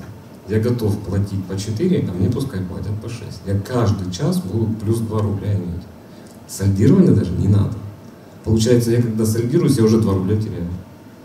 Вот. И вот здесь тоже есть момент, который интересно поднять для того, чтобы обсудить. Дальше, для того, чтобы немножко переиграть. Уже не сальдирование будет, а чисто договор продажи микрогенерации и чисто договор покупки их генерации. Вот здесь, блин, попозже. давай поговорим. Я вижу, ты хочешь что-то сказать. Сейчас, сейчас я закончу потом. Вот эти опыты как раз и важны для того, чтобы мы ими делились, да, и вот все коллеги у ко- у разных, в разных регионах разные решения и разные цифры, да, которые получаются. Вот э, Андрей будет из Нижнего Новгорода рассказывать тоже ситуацию, но они не получают по часовке. Установили уже давно, по часовке не получают. Я говорю, ребят, ну, по часовке это ваш самый главный инструмент для контроля.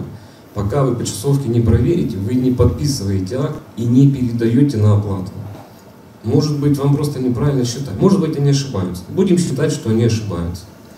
Давайте сделаем так. Они ошибаются, мы просто вам должны помочь правильно посчитать. У меня это было, я это проходил, поэтому это нормальный живой опыт. Давайте просто так делать, чтобы вам было легче. И все сетевые компании, с бытовые, они понимают, что все равно никуда не деваться, если правильно все выполнять по закону. Так, дальше, какие у нас, ну это еще один, а вот интересный объект, это 300 киловатт, 320 киловатт солнечная станция в Ростове, 21 год. Э, Человек даже не стал ничего э, присоединять по микрогенерации, потому что есть вот такая картинка э, те- интересная, это инверторы, вот. Солнечная станция э, дает 173 киловатта, из города человек берет 6 киловатт. Все.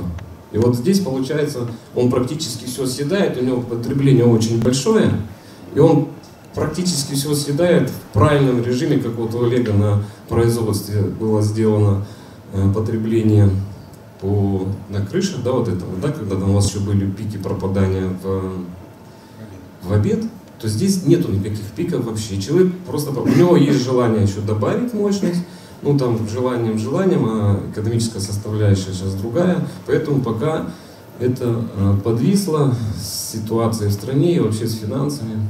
Как дальше будет, будем посмотреть. Это вот Таганрог, вот почему я рассказываю еще про этот объект, потому что здесь вот у нас есть еще ветрячок, и вот сегодня мы тоже говорили с Евгением по поводу того, что можно ветрячок поставить, но только там, где есть возможность генерить, э, ну, то есть где много ветра. Вот на биодоме там не стоит ветер, потому, ветряк, потому что там среднегодовая 2 метра в секунду.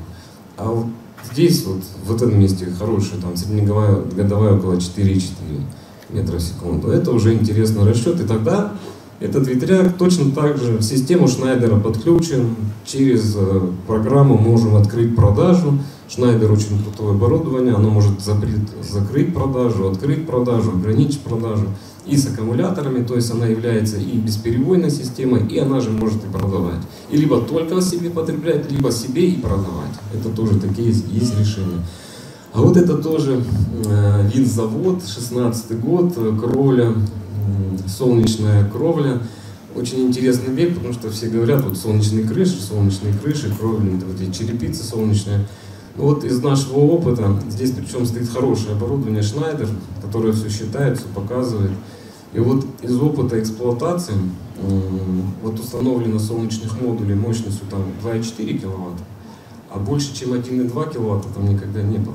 Потому что угол, затенение, там еще что-то, пыль, никто не контролирует, не проверяет. И вот здесь стоит подумать, стоит ли вот вкладывать в такие решения или сделать просто нормальную крышу и ее накрыть просто нормальными солнечными батареями, которые бы по площади занимали такую же площадь, но выдавали значительно больше мощности, которую мы смогли бы с вами эксплуатировать, ну, применять для себя или на продажу и так далее.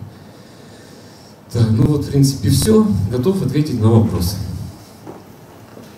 Здесь, слушай, вот э, всегда хотел поинтересоваться. Как у винзавода был слайд, где стоит вот этот вот э, ветряк. Да. Вот этот, да.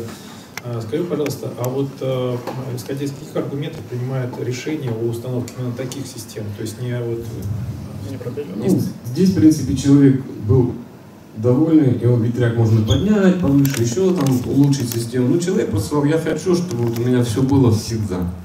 Вот я просто хочу, и там еще стоит дизель-генератор, который по просадке по напряжению, не по отключению, а по просадке напряжению на аккумуляторах дается команда и запускается дизель. У него всегда ничто никогда не ну, электричество на выходе всегда получает. То есть первое это хотелка, второе это э, тех- технические условия на месте. То есть если нет, ну, там, возможность, установите, чтобы он не был памятником. Да, вот мы поставили, вот он красивый памятник. Зачем? Да, чтобы там был ветер, который мы реально могли брать. И вот такие объекты, ну там это было давно, это генератор, микрогенерация, тогда еще не было вообще диалога. Но вот такие интересные объекты можно объединять для того, чтобы по закону микрогенерации использовать. Потому что в договоре не написано, чем мы генерируем. Хоть ставьте велосипед, крутите педали и продавайте. У вас есть микрогенерация, вы заключили договор, у вас есть взаимоотношения уже, и вы при отдаче всех излишков просто за них получаете. Каким образом вы это делаете, это уже другой момент. Мы соседу продавать не можем. Да, это вот очень такой интересный момент, что договориться с соседом, кинуть провод, ему продавать мы не можем. Сеть отдать и как-то соседу, это надо уже быть с бытовой, э, с, да, быто- энергетической с бытовой компанией, чтобы выйти на этот уровень, на опт, через опт как-то там продавать. Это гораздо сложнее, чем в, в в Армении. Но такие у нас законы, поэтому и, и мы не можем соседу продавать только через бытовую компанию. Ну, даже с вот этим расчетом это уже становится интересно. Это опыт, который вот реальный опыт, можно цифры посмотреть, пощупать, и исходя из этого, понимая, где находится объект, какие условия, какая кровля, какое потребление, самое важное, почасовое потребление дневное. Если дом это одно, предприятие это совсем другое. Какая стоимость киловатт-часа. И отсюда рождается уже необходимость и правильность применения технического решения с его оборудованием. Андрей, а вот почему выбран именно такой вид? Хотел, хотел, я хотел тоже вопрос Да. Валу Верхнему, да, задать, когда есть совершенно точный диагноз, только такой или нет такого? То есть вот Ну вот почему вертикальный? Потому что он стоит э, в жилой зоне. Если там поставить пропеллер, завтра вас соседи палками закидают. уровень шума. Да, шумит и так далее. И вот, если- в поле, то, конечно, пропеллер. У него Киев больше, ну, коэффициент полезного действия и вообще, ну, проще в эксплуатации. Но ветряк это такой сложный момент, если вы не умеете обслуживать, лучше его и не ставить. Лучше поставить плюс солнца и забыть про ветряк. Потому что это, ну, серьезно, я, я вот и выпускал вот эти ветряки сам, сам это наша разработка, мы получили на нее патент, у нас есть там на заводе матрицы, мы это все сами делали, там с генератором, уникальный генератор, тихоходный, 80 оборотах, 600 ватт дает, таких нету в России. Но продавать, устанавливать и куда-то дальше двигать, это сложно, потому что это нужно обслуживать. Понятно, спасибо. Да, да? Две ремарки. Вернись еще на пару слайдов, где цифры твоей 15-киловаттной системы. Да, да, да. Вот, сюда. Ну, во-первых, э, то, что у тебя 4 рубля покупка, 6 там, или 5, даже 50 продажа, э, если почитаем э, наш большой чат в телеграм-канале, где больше тысячи человек, и там очень много именно пользователей, мы поймем, что таких условиях, как у тебя, ну, наверное, вот пальцев на одной руке, Ну, то, наверное, останутся свободные. Как правило, все-таки цена выкупа вот это избытков меньше, чем цена покупки. Поэтому ну, никому не говори. А то отменят. Вот. А второе, вот если ты здесь справа, э, справа от этих цифр еще поставил цифры сальдирования, вот тогда было бы эффектно. Цифры были бы большие, как у Олега презентации. Тут вот были бы реально большие цифры, потому что вот эти цифры маленькие. И 15 киловатт станция, условно говоря, миллион рублей. У Олега чуть-чуть другое, потому что... Какая разница, Андрей? Здесь чисто продажа идет. Здесь Ну, потребления нету. Это, вот эта Ну, станция 15 киловаттная работает только на Ты продажу. хочешь сказать, что 15-киловаттная станция За в- май. за Май. май сгенерила всего 2, Ну там есть 1,8? немножко... Не, ну и там есть немножко потребления, но оно незначительное. Ну, что-то как-то мало тогда для нас. Но это не в Анапе, это в Тимошевске. Ну, все равно. Но это мы отдельно про- продолжим дело. Да, в, этом- что у нас просто в этом дожди, апрель. очень дождливая весна. Март-апрель просто фантастика. наоборот. Так, еще вопросы? Все, спасибо большое, коллеги. Сейчас я... Без эфира никуда, дорогие друзья, никуда. Программа сама собой открылась. Юрий Полаш расскажет уже свой опыт реализации системы микрогенерации. Добрый день, уважаемые друзья. Колыш Юрий. А, Можно мою презентацию вывести на экран? Да, а, я работаю в компании Система Электрик. Можно следующий слайд? А, я сам буду перелистывать. Хорошо, спасибо. Итак, мы сегодня все представляем вам те или иные реализованные проекты. Но чтобы а, как-то показать это для вас с разной стороны, я сделаю акцент на особенности применения и выбора накопителях, накопителей в системах э, микрогенерации. Эм, О чем я буду говорить? Я буду говорить о том, что за характеристики конкретной системы, которую я возьму за пример, на которой все вот это вот рассмотрю, а, какие там применены решения, почему они были применены такие, какой был применен накопитель и дальше о преимуществах выбранного накопителя, а в данном случае будет э, литий-ионный, э, литий-ионная аккумуляторная сборка для систем микрогенерации, которые работают совместно с электрическими сетями, как вы знаете. А, Совсем коротко тогда. Объект – это частное домостроение, Краснодарский край, сельское поселение. Ну, то есть солнца достаточно много, тем не менее есть ярко выраженная сезонность такая. Все лето, все время солнца, дождей практически нет. А, Там зима, конец осени, начало весны – это такой сезон дождей, когда выработка достаточно мала. А, При этом, соответственно, подключение по 0,4 киловольта, задача, которая стояла, потому что этот объект был подключен по закону о микрогенерации в декабре прошлого года, задача была заодно поднять мощность э, техприсоединения. Изначально она там была очень маленькая. Мощность техприсоединения была поднята, соответственно, 15 киловатт на потребление, 15 киловатт на генерацию трехфазная. Основной источник питания – воздушная линия, естественно. А, Что там было установлено? Вот вы видите тут реально фотографию этого дома. Южный склон крыши, а, навес над балконом и навес, соответственно, над а, уже там террасой, не террасой, а вот такой тротуарной частью перед домом, был сделан из солнечных модулей. В общей сложности а, 50 модулей по 30 а, киловатт, по 300 киловатт каждый модуль. Как раз дает нам 300 ватт, конечно. Каждый модуль дает нам вот эти 15 киловатт номинальной мощности солнечных панелей, которые разрешены по закону. А, Кроме этого, там был установлен фотоэлектрический инвертор, который работает только на выдачу в электрическую сеть, и был установлен гибридный инвертор с литий-ионным накопителем для того, чтобы обеспечить свою такую собственную энергетическую независимость от сети в случае аварии в электрической сети или планового отключения. Почему? Потому что в отличие от Москвы, э, в сельской местности достаточно часто не только отключение по аварии, но просто отключение плановое сети. А, В особенности в Краснодарском крае, где электрическая сеть перегружена и, а, по сути, нет резервных мощностей. То есть, если нужно провести какие-то работы на подстанции, зачастую приходится отключать потребителей, что, в общем, там, там достаточно часто и случается. Поэтому была применена такая комбинированная система. И здесь у меня указано, что а, 10 киловатт мощности массива подключены к сетевому инвертору, который работает только на выдачу в сеть. 5 киловатт номинальной мощности солнечного массива, то есть он был разбит на несколько частей, подключены к гибридному инвертору. И на этот гибридный инвертор также выведены все критические потребители. То есть, в частности, это технические системы, такие как система водоснабжения, плюс э, все, что связано с безопасностью, то есть видеонаблюдение, если надо, охранная система и так далее. То есть те потребители, которые у нас должны быть с электроэнергией, неважно, что творится в электрической сети. Там шквалистый ветер оборвало провода или плановое отключение, то есть эти системы остаются с электричеством всегда. А, И нагрузки я указываю здесь, что, а, как правило, они ограничены вот этими 5 киловаттами, которые а, способен обеспечивать в номинальном режиме гибридный инвертор. А, Теперь с точки зрения такой вот а, блочной схемы этой установки, еще раз вы видите отдельно с левой части в нижнем левом углу как раз а, мой 5-киловаттный массив, который обеспечивает бесперебойное электроснабжение, скажем так, и слева 10 киловатт массив на, на сетевом инверторе, который выдает мощность в электрическую сеть всегда. И вы видите, что первая фаза, соответственно, она резервируется, то есть на ней подключены критические потребители.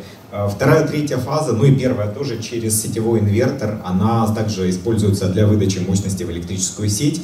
И по всем этим трех фазам разбросаны некритичные потребители вот этого вот домостроения. То есть в нормальном режиме, как показано здесь, когда есть, электрическое, когда есть напряжение в электрической сети, у меня идет постоянная такая балансировка, выходит, что э, сетевой инвертор выдает на главный распределительный щит мощность, оттуда же же отбирается мощность на групповые потребители, соответственно, разбросанные по этим трем фазам. И э, при этом гибридный инвертор тоже включен на выдачу мощности в электрическую сеть. То есть включен так называемый режим продажи. То есть он э, в реальном времени, получается, на его шинах уже балансируется потребление и его генерация. И э, когда его собственная генерация превышает потребление вот, потребителей по первой фазе, избыток мощности тоже выдается в электрическую сеть. А, Опять же, просто в техническом помещении это все установлено с точки зрения размещения оборудования. Вот выглядит это так.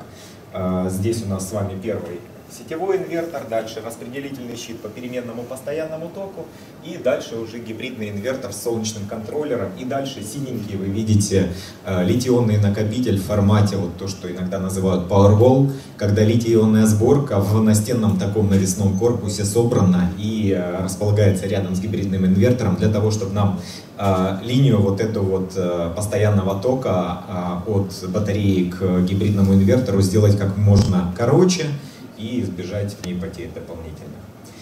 А, Вот здесь просто стрелками обозначены у меня по сути потоки, э, ну, токи при э, нормальной работе, когда есть электрическая сеть. То есть здесь идет постоянное такое естественное сальдирование. А, Когда я потребляю больше, чем вырабатывает солнечная генерация, например, а, гроза, очень плотная облачность, 15-киловаттный массив, грубо будет выдавать что-то, наверное, в районе полутора киловатт. Ну, грубо совсем так, чтобы проще всего было 10% от номинальной мощности. Тогда, конечно, домостроение потребляет больше, чем дает своя собственная генерация.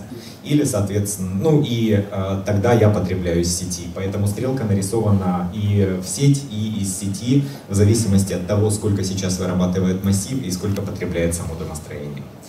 А, В случае аварии электрической сети, конечно же, сетевой инвертор автоматически прекращает выработку. Это закон, а, ну как, это стандарт а, о электробезопасности для сетевых инверторов. Он в этом случае прекращает генерацию, отключается от электрической сети, изолирует фотоэлектрический массив от электрической сети, чтобы исключить поражение персонала, который может работать на линии по устранению неисправности в этом случае. Но э, гибридный инвертор, при этом вы видите вот серые все линии, где у нас пропало с вами напряжение, красные, синие линии, где у нас осталось напряжение. То есть э, вход-выход гибридного инвертора тоже изолированы, и на своем выходе гибридный инвертор продолжает питание критических потребителей. И при этом точно так же от солнечного массива, который 5-киловаттный, который у меня подключен только на гибридный инвертор, идет до зарядка при необходимости э, аккумуляторного массива, который подключен параллельно через мост постоянного тока. А, Вот в данном случае такая схема позволяет при необходимости еще и подключить резервный генератор. В моем случае резервный генератор не подключался, постольку, поскольку э, мощность накопителя рассчитана так, чтобы темное время суток э, система могла питать потребителей только от батарей. Тогда, э, если, ну, если система продолжила это питание до утра, утром выходит солнце и опять идет подзарядка литий-ионного массива. Пока что это все вот работало так, как рассчитывалось, ни разу не случилось так, чтобы мощности накопителя не хватило на вот этот ночной период. И, наконец, поговорим о причинах, а, что побудило меня вложить деньги конкретно именно в литий-ионный накопитель по сравнению с традиционным свинцом. А, Здесь нужно показать сначала несколько цифр, которые приводят к такому решению. Они здесь, в общем, на слайде. Это как раз а, те самые а, баланс, грубо говоря, и расчет необходимой энергии, который необходимо обеспечить системе для питания потребителей в течение Ближе к микрофону, Игорь, не слышно Я- будет. Запись я- идет, я не будет слышно. Просто ближе к микрофону или Хорошо. руки. Да, я просто пытался, наверное, рукой где-то показывать, о чем я буду говорить. Ну вот, здесь указано 500 ватт, это вот та самая 10%, которая способен при э, самой плохой освещенности, например, там грозу или плотную облачность, давать солнечный массив. Потом э, 12 часов, это считается там темное время суток для нас, э, на 300 ватт это среднее потребление в ночное время критических потребителей. Отсюда мы получаем 3,6 киловатт часа, накопитель мой должен быть способен выдать в любой момент, когда произошло отключение электроэнергии. И, наконец, э, предельный зарядный ток, э, который необходимо э, иметь возможность сбалансировать этим накопителем, когда, наоборот, э, ясная погода и максимальный зарядный ток идет от солнечного массива. И э, при этом еще, давайте так, э, напряжение на батарейной шине, которое для примененного оборудования составляет там предел до 64 вольт постоянного тока. Также вы видели, что есть большая разбежка между, например, 300 ватт. 300 ватт мы делим с вами, например, на, ну, грубо 50 вольт для простоты счета, и мы получаем 6 ампер тока, с, который берется с батарейной шины, например, в этот момент 300 делю на 50. Очень просто у нас с вами постоянный ток. С другой стороны, если это ам, полная мощность, которую способен давать инвертор, например, пик потребления, это около 100 ампер получится разрядный ток. Если максимальный, э, максимальная мощность, которую выдает солнечный массив, с вами посмотрим, опять же ограничена нашим солнечным массивом, где-то 80, может быть чуть-чуть меньше ампер. То есть накопитель должен, способ, должен иметь возможность балансировать всю эту систему в очень широком диапазоне. Там, от маленьких токов 6 ампер, которые я говорил, средние, например, за ночь, до 80 ампер зарядного тока и до 100 ампер разрядного тока. То есть здесь надо принимать во внимание, что разные накопители будут вести себя при вот таких предельных для них зарядных и разрядных токах по-разному. Поэтому я привел здесь вот этот график. Он показывает, вот вы видите, по а, горизонтальной шкале, в течение какого количества времени мы разряжаем накопитель. То есть, а, чем сильнее мы смещаемся вправо, 10 часов, 15 часов, 20 часов, это получается разряд маленькими токами в течение долгого времени. Это там те режимы, в которых хорошо работают свинцово-кислотные батареи и вот аккумуляторные массивы свинцово-кислотные, которые чаще всего в целях экономии используют. В моем случае 100 ампер э, для 100 ампер часов моего накопителя это получается 1С так называемый. То есть зарядные разрядные токи равные емкости накопителя. Это разряд за 1 час. И тогда мы по вот этой с вами горизонтальной шкале смещаемся почти к нулю.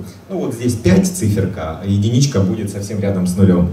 Вы видите, что э, ВРЛА это герметизированные свинцово-кислотные батареи, которые часто ставят в таких системах бытовых. Почему? Потому что под них не нужно специально вентилируемое помещение, они не выделяют практически водород при, при там, заряде, и нет риска образования там, гремучей смеси, взрыва и все прочее. Не надо принудительную вентиляцию, не надо датчиков, связанных с этим. Это просто удобно использовать в быту такие накопители. А, Но если я их начну заряжать вот такими вот токами, во-первых, это плохо для ресурса этого накопителя. Во-вторых, будет идти выделение водорода. Если герметизированная такая батарея, она, скорее всего, раздуется и выйдет из строя тоже.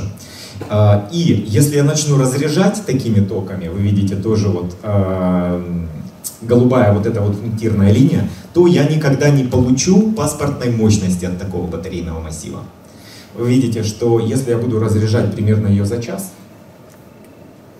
вот здесь где-то будет точка пересечения, то э, я получу от силы половину паспортной емкости такой батареи на мои потребители. В то время как э, там литиевые массивы, они смогут выдать ну, почти 90%, даже при таких э, предельных для них фактически заряд разрядных токах. Это вот основная причина. Вторая причина лежит вот здесь. А, Для, есть еще один момент. Как а, при зарядке очень большим током, мы говорим, батарея может выйти из строя, а, но одновременно из-за чего? Из-за того, что будет перегрев, выделение водорода, соответственно, и раздувание корпуса, так как он герметизированный, а клапан, скорее всего, такое количество не пропустит. А, Второй момент очень важный, это то, что батарейный массив при этом, на нем будет расти напряжение резко. Он, скорее всего, выйдет за диапазон вот тот разрешенный 64 вольта, например, и система отключится по ошибке просто, и это все не будет работать. То есть для того, чтобы а, свинцово-кислотный аккумуляторный массив мог работать с такими токами, вот здесь показан простейший расчет. Номинальные токи для него 0,2-0,25C, ну, предельные, опять же, которые он будет принимать без ухудшения, без деградации существенной. 0,2C для 200 ампер часового аккумулятора это 40 ампер максимум там соответственно. Желательно даже реже использовать такие вещи. Номинальные, рекомендуемые всеми производителями 0,1C это для опять же 200 ампер часовой аккумуляторной батареи это 20 ампер. В моих 80 амперах от солнечного массива мне 4 цепочки в этом случае нужно. Поэтому я вот здесь и указываю, там, беру я 4 цепочки, но длина цепочки, так как это 12 ампер часовые аккумуляторы свинцово-кислотные, вы знаете, там автомобилисты все знают, мне их нужно будет еще 4 последовательно, и вместо одного небольшого достаточно пауэрового, компактного, это же все-таки домостроение, там нету немерено места, куда где это можно размещать, мне нужно разместить где-то 16 тяжеленных, достаточно больших аккумулятор, аккумуляторов. На стеллаже, помещения, соединить их все, то есть, если мы с вами посчитаем просто затраты, с одной стороны, на одну готовую сборку, которая на стенке рядом размещена с инвертором, или большой стеллаж, который тоже надо приобрести, на котором нужно все это разместить, и это все нужно соединить и защитить автоматами, потому что 4 цепочки, в случае замыкания надо защитить каждую цепочку, чтобы не произошло там а, короткого замыкания с, ну, и разряда исправных цепочек на ту, которая замкнула, например. То есть, если суммарно посчитать все вот эти вот затраты, то просто на стоимость оборудования, вот в таких случаях, когда у нас с вами не просто резервная система с длинным разрядом в течение 10 часов, а когда есть вот потребность как в высоких зарядных токах, так и в высоких разрядных токах, такие системы, получается, уже становятся абсолютно оправданы, оправданы и с точки зрения вот сразу капекса, который вы вкладываете, ну, имеется в виду ваших затрат на момент приобретения оборудования. И э, еще один важный момент – это на самом деле и физические параметры. Потому что, опять же, для юга, для того, чтобы не делать там кондиционирование в этом помещении, а обойтись просто приточной вытяжной или приточно-вытяжной вентиляцией и э, там, пусть даже принудительным э, охлаждением при помощи вентиляторов, но без кондиционирования. Здесь тоже для меня литий-феррофосфатная сборка, она была гораздо предпочтительнее, потому что как только температура поднимается выше 25 градусов Цельсия, свинец начинает ускоренно деградировать. То есть тоже для срока жизни такого массива это плохо. Ну и э, здесь указан срок службы 10-15 или 5-12. То есть вот здесь уже начинается спорный момент, который для некоторых является фактором, который люди принимают во внимание, для некоторых нет. То есть, если я смотрю, а, оцениваю стоимость эксплуатации такой системы на длинном сроке, например, на 15 годах, годах мне свинец придется 2-3 раза поменять за это время. А, литий на пределе, скорее всего, доживет такой срок. Если я наоборот смотрю короткий срок эксплуатации, например, 5 лет, там и свинец прослужит, и литий прослужит за этот срок, и там, конечно, вот, э, поэтому я и говорю, срок службы это такая палка о двух концах, которую в зависимости от того, на каком горизонте вы планируете, может работать как за свинец, когда это короткий горизонт, так и за литий, когда это длинный горизонт. Для меня, поскольку, поскольку большинство оборудования имеет срок службы паспортный около 10 лет, я бы сказал, что это 50-50. Тут особого преимущества э, ни одна, ни другая система не будет иметь, поэтому я в конце совсем этот аргумент привел. Давайте так, я э, постарался вот в деталях описать вам э, применение накопителей в таких системах. Зачем они нужны? Они позволяют вам резервировать э, критические потребители ваши не остаться без воды при отключении электроэнергии, чтобы ваши системы безопасности, видеонаблюдения работали и так далее. Вот. И с другой стороны показать, исходя из чего, что нужно принимать во внимание при выборе того или иного накопителя для таких систем. Если у вас есть вопросы, готов на них ответить. Да?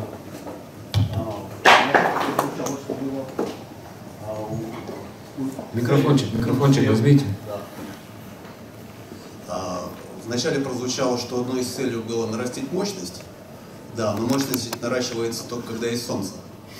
Нет, потому что изначально у этого домостроения было техприсоединение 3,5 киловатта всего, однофазное 3,5 киловатта. Поэтому, когда э, я подавал заявку на техприсоединение объекта микрогенерации, то одновременно подавалась заявка на увеличение мощности. Ну просто потому, что по, по подключению, по техпрису 3,5 киловатта однофазный, я не смогу выдавать 15 киловатт трехфазный. Поэтому тут одновременно была и такая задача. Понятно, тоже. ну это просто Просто совпало, да. Дополнительный бонус, да, получился. Да, да. Два раза не платили за этих присоединений. Все правильно, отлично. Так, еще есть вопросы? Переходим к следующему. Спасибо большое, Юра. Спасибо большое за внимание. Да. Андрей Солнцев, Зеленая энергия, Нижний Новгород.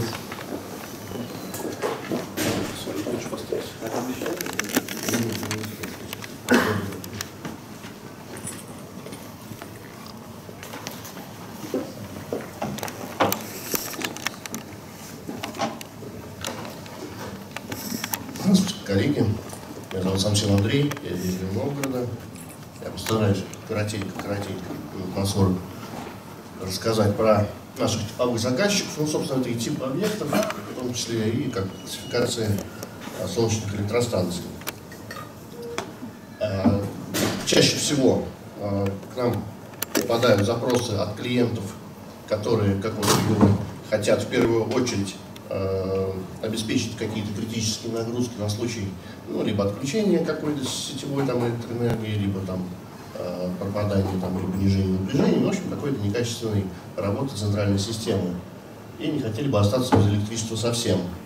Э, Ставится в этом случае гибридный инвертор, там, э, в зависимости от мощности, какой надо клиенту, ставится блок аккумуляторных батарей, а солнечные панели здесь выполняют роль как бы продлеваемого резерва на случай отключения днем и там, какую-то окупаемость, какую-то экономию на время всего срока службы. Вот в данном конкретном случае клиента мы использовали 5-киловаттный гибридный инвертор э, ну, с двумя входами МППТ, потому что панели у него э, разнонаправленные, смотрят в разные стороны, так вот, по итогу получился такой проект. Было использовано панели Дельта номинальной мощностью 450 ватт, 8 штук. Э, Каркас мы делали сами стальной, крашеный, а уже крепеж, естественно, алюминий. И были использованы карбоновые батарейки, Electroenergy, ОБЦ 12100, которые многие достаточно сильно полюбились. А в этом проекте мы его делали в 2022 году, было уже подорожание по зеленому тарифу, поэтому клиент его не подключал. Я думаю, что в дальнейшем при уменьшении стоимости или возврат там, льготного присоединения он подключит и зеленый тариф в том числе. На данный момент он с, э, вот этот клиент с марта по октябрь живет вообще в автономном режиме, вообще сетью не пользуется. То есть даже ночью он там немножко разряжает батарею, у него минимальный расход ночной. Следующий клиент или тип клиентов, вот конкретно в данном случае заказчик хотел не только решить свою задачу с э, большими счетами за электроэнергию, но и хотел, чтобы все это эстетически очень здорово смотрелось. Мы попробовали решить эту задачу, собственно, вот конечный результат. На самом деле он очень сильно понравился. Каркас здесь тоже наш самодельный стальной, с 50 трубы, поставили упустим, чтобы не болталось. Общем, рассчитали, поставили, все сделали. Все классно. Здесь использовали сетевой инвертор Safar 5 киловаттник, 14 панелей тех же самых 450 Дельта. Клиент на данный момент получил уже, а, подключился к зеленому тарифу, по-моему, договор номер 8 у него на текущий момент по нашей области. Получал он его, к слову, примерно год. Ну, там можно было ускорить, но просто вследствие там, занятости и разных там объективных субъективных причин получилось достаточно долго. Клиент рад, счастлив, ему очень нравится, что соседи у него интересуются, что это за штука, как она работает, он всем рекламирует. Ну и, собственно, бонусом для него это зарядка его электромобиля американского производства практически задарма. И еще один тип клиента, в прошлом году также был реализован, обратилась к нам организация, это производство химических, химических компонентов, наверное, можно назвать, А, и для хранения вот этих вот химических компонентов требовался герметичный термоконтейнер, чтобы температура не а, поднималась внутри, требовалось автономно обеспечить энергией вот эту климатическую установку. Это обычный 40-футовый контейнер, просто утепленный там. Наверху мы разместили 12 панелей там, по 320 ватт, также на каркасе. Оборудование на тот момент еще было доступно Шнейдер. Мы поставили, все классно оно работает до сих пор. И поставили, вот как э, у Юры было, три Powerwall от компании Vector, которые работают параллельно, обеспечивая там, 300, да, 300 ампер включается запас примерно. Все, задача была решена, клиент доволен, в любые дни у него климатическая установка работала, поддерживала температурный режим. Проект приняли как удачный. И здесь была еще отдельная задача, чтобы все, весь вот этот контейнер они могли без демонтажа оборудования или каких-то отключений, ну, отключение, понятно, надо было делать, но без демонтажа, чтобы они могли его транспортировать в любое место, там, ну, в пределах, там, может быть, недалеко где-то. В общем, краном его можно поднять на текущий момент без демонтажа, по- поставить на какой-то манипуляторный грузовик, и он спокойно передвигается. Вот эти вот шкафы, где у нас находится все оборудование, они э, сделаны на закладных, которые приварены к корпусу самого контейнера. В общем, все, все висит, все надежно, все здорово. Ну, собственно, у меня все. Спасибо за внимание. Отлично, вопросы есть, ребят, у кого? Спасибо большое, Спасибо. Борис, спасибо. И у нас еще есть один тоже представитель нашей э, ассоциации, это Алексей Скорботюк, тоже один из старейших, скажем, исполнителей возобновляемых источников энергии. И у него большой спектр и солнечные водяные коллектора, и жидкостные, и солнечные воздушные коллектора, и солнечные электрические стан, эти модули с про- протеканием сзади них. ПВТ-модули? Да, да, да. Это Вот гибридные модули, да. Да, да, да. Хотя помню твою скепсис по поводу них, я думаю, не знаю, остался, не остался. может, Ну, скепсис остался, но давай не об этом, давай о тебе представься. Э, Зовут меня Алексей Скоробатюк, компания «Новополис». Являюсь генеральным дир- директором. Мы, как Андрей сказал правильно, производим солнечные коллектора, воздушные, плоские, вакуумные. Но сейчас будем, давайте говорить про другую тему, то есть все же про микрогенерацию. Вот на данном слайде можете посмотреть, запустили мы гибридную солнечную Я электростанцию. извиняюсь, потому что, по-моему, первая в России с таким количеством соединенных инверторов в одну систему. А, По-моему, Не такая. узнавал, но я, у меня нет данных пока. Ну да, вот на- по нашим данным, что это первая такая в России, вот такая уникальная вещь. Ну тут от беды пошли, по идее, по-хорошему с таким количеством надо ставить уже высоковольтные инверторы. Это низковольтные, 48 вольт, э, по идее, потому что сначала мы пытались запустить на других инверторах, э, поставили уже низковольтные э, литиевые аккумуляторы векторские, шкафы собрали, а потом уже ставили уже новые инвертора, и поэтому система низковольтная. Так-то по-хорошему надо было систему ставить на высоковольтную э, уже, но так получилось. Система все равно работает, работает э, эффективно. Э, э, Здесь э, она питает нагрузку различную, плюс еще заряжает электромобили. Клиент не собирается подключать его на тариф, он пошел другим способом монетизации, он хочет поставить быструю зарядку, сейчас устанавливает, и дальше будет э, выдавать э, солнечную энер- энергию э, для зарядки электромобилей коммерческим способом. Там будет, получается, за 20-25 рублей будет продавать киловатт электричества. Причем э, можно даже дороже здесь от э, спроса, от, э, от сезона. При этом он будет заряжать в основном только днем от солнца, а ночью он уже будет от сети по ночному тарифу использовать дешевое электричество и заряжать автомобили уже на коммерческим образом по дешевому тарифу. Опять же, потому что зарядка быстрая, стоимость киловатта там намного дороже, потому что в округе это э, Кавказ, там нету других быстрых зарядов. Хотя автомобили и э, перевозят, э, перевозчики с Армении, с Грузии э, гоняют, и надо заряжать достаточно быстро, чтобы время. Также хочу рассказать про наш такой уникальный дом, в котором мы активно поучаствовали и с Сашей Говориным, и с Начаевым Андреем. Это дом профессора э, Эльдара Дарича. Начали мы с четырех коллекторов солнечных, потом э, и теплонасосы стояли. Э, Потом поставили два гибридных еще года 3-4 назад модуля солнечных, два э, обычных модуля для сравнения выработки э, по теплу, по электричеству. И дальше пошли уже установки по э, сеть- э, гибридные электора на крыше. И было реализовано э,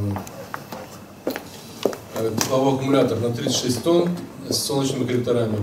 Заряжаем тепловой аккумулятор э, теплом в течение э, лета. Дальше используется он напрямую в теплых полах, это тепло, когда уже начинается отопительный сезон.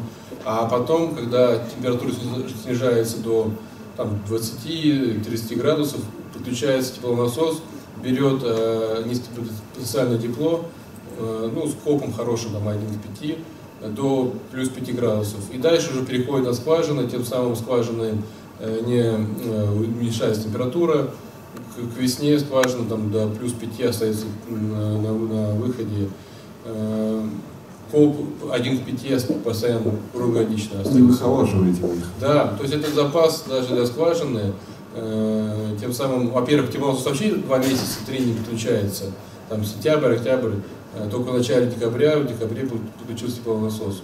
И то мы поздно начали заряжать теплом аккумулятор, аккумулятор. Он зарядился там до 75 или до 80 градусов, не до 90 как плани- планировалось. И зима была первый, э, ну, декабрь достаточно прохладный, там, октябрь был прохладный, там, отопление с октября месяца началось уже. И потом уже навес для, э, под электромобиль, э, зарядка там тоже стоит, и сделали навес на 11 киловатт электричества. И э, опять же дом получился в целом энергопозитивным по году, Э, вы- вырабатывает электричество больше, сейчас подключился э, зеленый тариф, вырабатывается, э, выдает сеть, так что А какой тариф покупки? там порядка 6 рублей. Так или, ну, там опять же... Видишь, Валера, ты говоришь, у нас только. Здесь тоже так. Ну, а нет, да, по продаже. да. Там опять же меняется в зависимости от сезона. И э, была проблема очень большая с подключением. Э, мне кажется, по Москве это был один из первых объектов. Ну, по крайней мере, в том районе, в Среднепосадском районе, там у нас по районам, и разные районы, разные то есть, бытовые компании, и там они ну, раз 10 точно приезжали на объект, э, устанавливали какие-то требования, как минимум для начала визуальный разрыв сети. Установили, э, причем э, придумали установить контроль фаз на сторону э, ну, энергоснабжающей организации на, стол, на столбах, грубо говоря. И он, когда фазы нет на их стороне, он физически не может подключить наш пускатель, пока не появится там фаза. То есть они говорят, боялись, что мы э, будем выдавать э, наши гибридные инверторы туда в сеть. И, ну, пошли таким способом, они нам требовали чуть ли не, ну, к ним на пульт не вывести чипилизацию, чтобы они могли удаленно включать, удаленно мониторить, за наш счет причем. Э, требовали проект э, э, по автоматам на столбах, чтобы ну, подключение точки там, на 200 метров расчет токов. Ну, какие-то вообще неадекватные требования. Последний раз, когда они приезжали к нам, мы визуально отрубили их сеть, ну, автомат, который стоял на столбе. Они бегали с тестером, нашли фазу, очень порадовались. Потом, когда разобрались, что это было все же на нашей стороне, не на их, погрустнели, просто молча уехали. И, ну, несмотря по- после полгода где-то все равно мурыжили, все равно подписали все же договор, сейчас пошло уже сеть. Э, Ну, очень сложно было присоединение, объект подключались, э, даже пытались э, аспиранты бывшие МИИ, э, которые работают же наверное, в компании. Ну, очень тяжело было, мягко сказано. Э, Этот объект э, т- э, 15 киловатт установлен в Подмосковье тоже. Здесь э, другим путем пошел э, заказчик. Он, у него это какое-то небольшое корпоратив, ну, несколько зданий, соседей, они, у них общий ввод, э, и у них был учет, ну, как бы собственный, сколько потребил, э, кто столько платил. Он поставил просто счетчик и учитывает, э, ну, внутреннем, в внутреннем учете э, свою выработку электроэнергии и просто меньше платит, э, ну, все вместе, сообщество вместе пла- платит меньше, и он в эту долю еще меньше уменьшает свою. Поэтому действительно тариф не подключаться не будет, а просто будет такой перерасчет уже идет и активно используется. Но здесь установлены тепловые насосы, и тепловые насосы зимой и весной они потребляют всю мощность выдаваемую панелью. Это объект, который как раз на Кавказе установили. Также теплонасосы стоят, и они потребляют, э, получается, э, ночью также литиевые аккумуляторы питают тепловые насосы, и круглосуточно идет и отопление, и электроснабжение объекта э, за счет солнца. Там достаточно большой массив батарей, э, 160 киловатт, нет, 117 киловатт, и 160 киловатт запасенной энергии. Хватает для питания здания 300 квадратных метров Здесь присутствует владелец этой станции э, среди э, слушателей. Э, Очень тоже интересный объект. Э, Пока еще не присоединен э, к зеленому тарифу, но мы уже на финишной прямой. Э, Надеюсь, в ближайшее время уже будет подключен. Но, несмотря на это, Евгений Евгеньевич активно пользуется излишками солнечной энергии за счет того, что установлен сетевой, э, сетевой инвертор, и плюс э, к этому же инвертору подключена зарядная станция Фрониус, которая позволяет э, в случае избытка солнечной энергии подключать именно зарядку э, солнечного автомобиля. Вот здесь даже есть пики, когда все же получается не хватает э, солнца, зарядка в этот момент прекращается. То есть получается только за счет солнца идет зарядка электромобиля, так настроена. И, излишек э, только сбрасывается. И получается за счет только солнечной энергии автомобиль передвигается электро. Насколько я понимаю, правильно? Да, и это, мне кажется, даже приятнее ездить на такой электромашине, потому что не просто даже, даже зажигается топливо. А, это мы вчера про него говорили, да? Да, А, это... Жень, мы вчера, оказывается, про твой дом рассказывали, разговаривали, и я предложил заряжаться не от солнца, а по ночному тарифу, потому что он дешевле. Значительно дешевле. Ты покупаешь по, Не, не, по, по- это мы- по 6, а заряжать ты можешь по рубль 60. А излишки куда? А излишки продавай. Ну, если плюс 20% тариф, то да.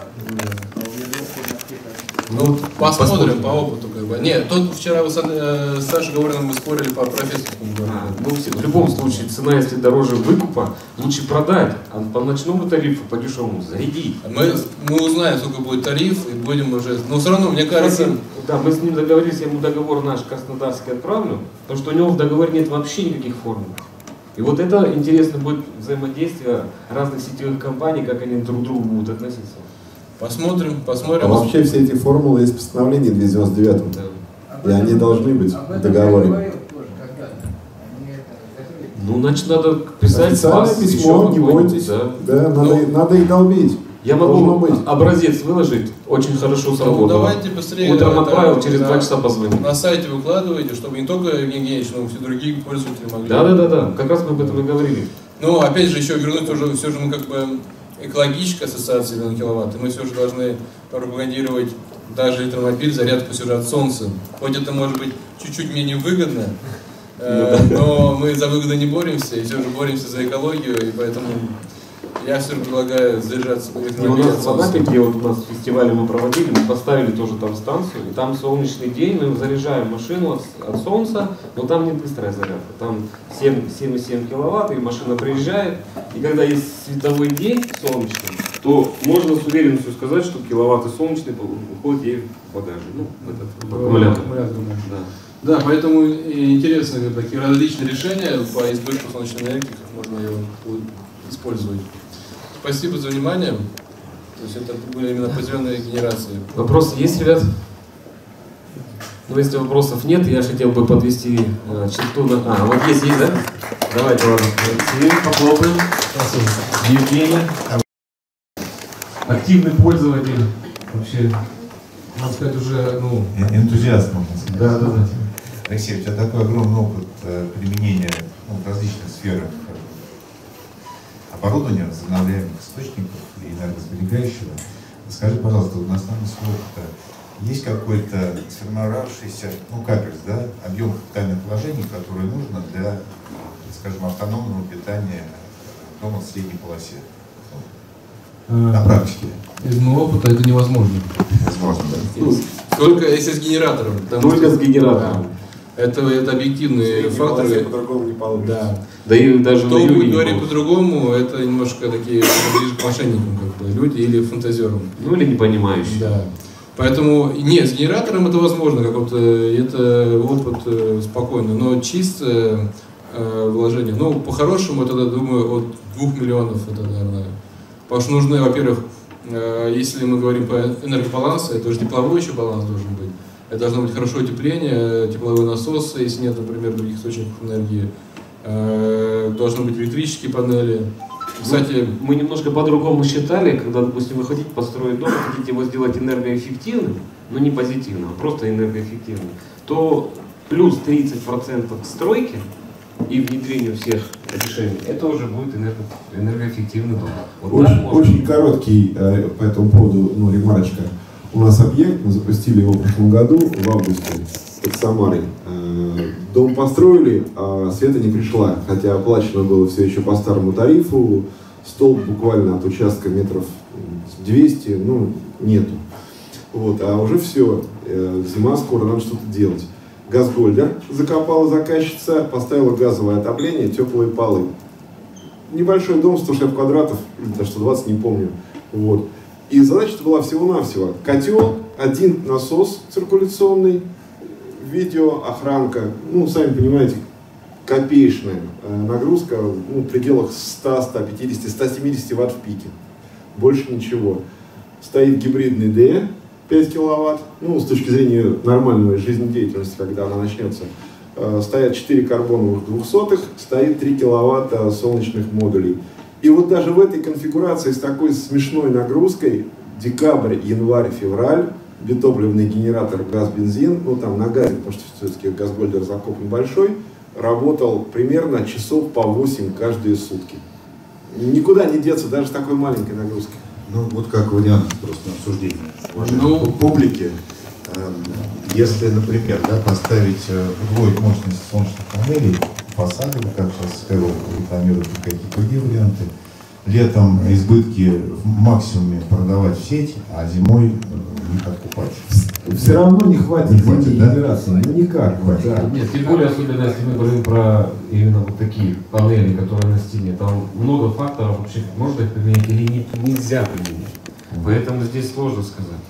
Спасибо. И еще как бы комментарий, что вот опять же зимой в средней полосе они засыпаются снегом панели очень часто, а наши ПВТ-модули могут за 15-10 минут подать туда тепло, стопить снег, и можно пользоваться электроэнергией. Где-то взять надо тепло, насосик, чтобы прокачал, тоже А обычное тепло, там уже какой-то есть или тепловой насос, э, или твердотопливный котел какой-то бывает, газовый, это немножко проще. Ну, кому прям копейки и ваты нужны, каждый собирать, и чистить крышу каждый день не очень хочется, это можно сделать.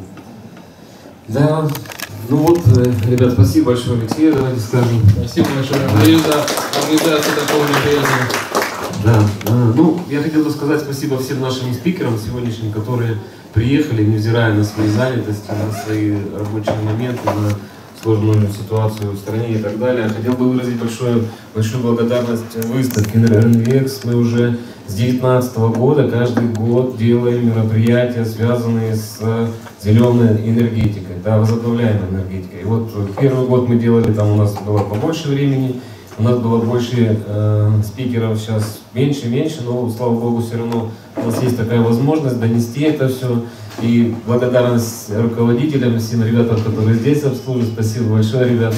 Э, ну, я думаю, мы каждый год будем с вами встречаться и продолжать наше взаимодействие. Спасибо большое, всего доброго. Всем спасибо. спасибо.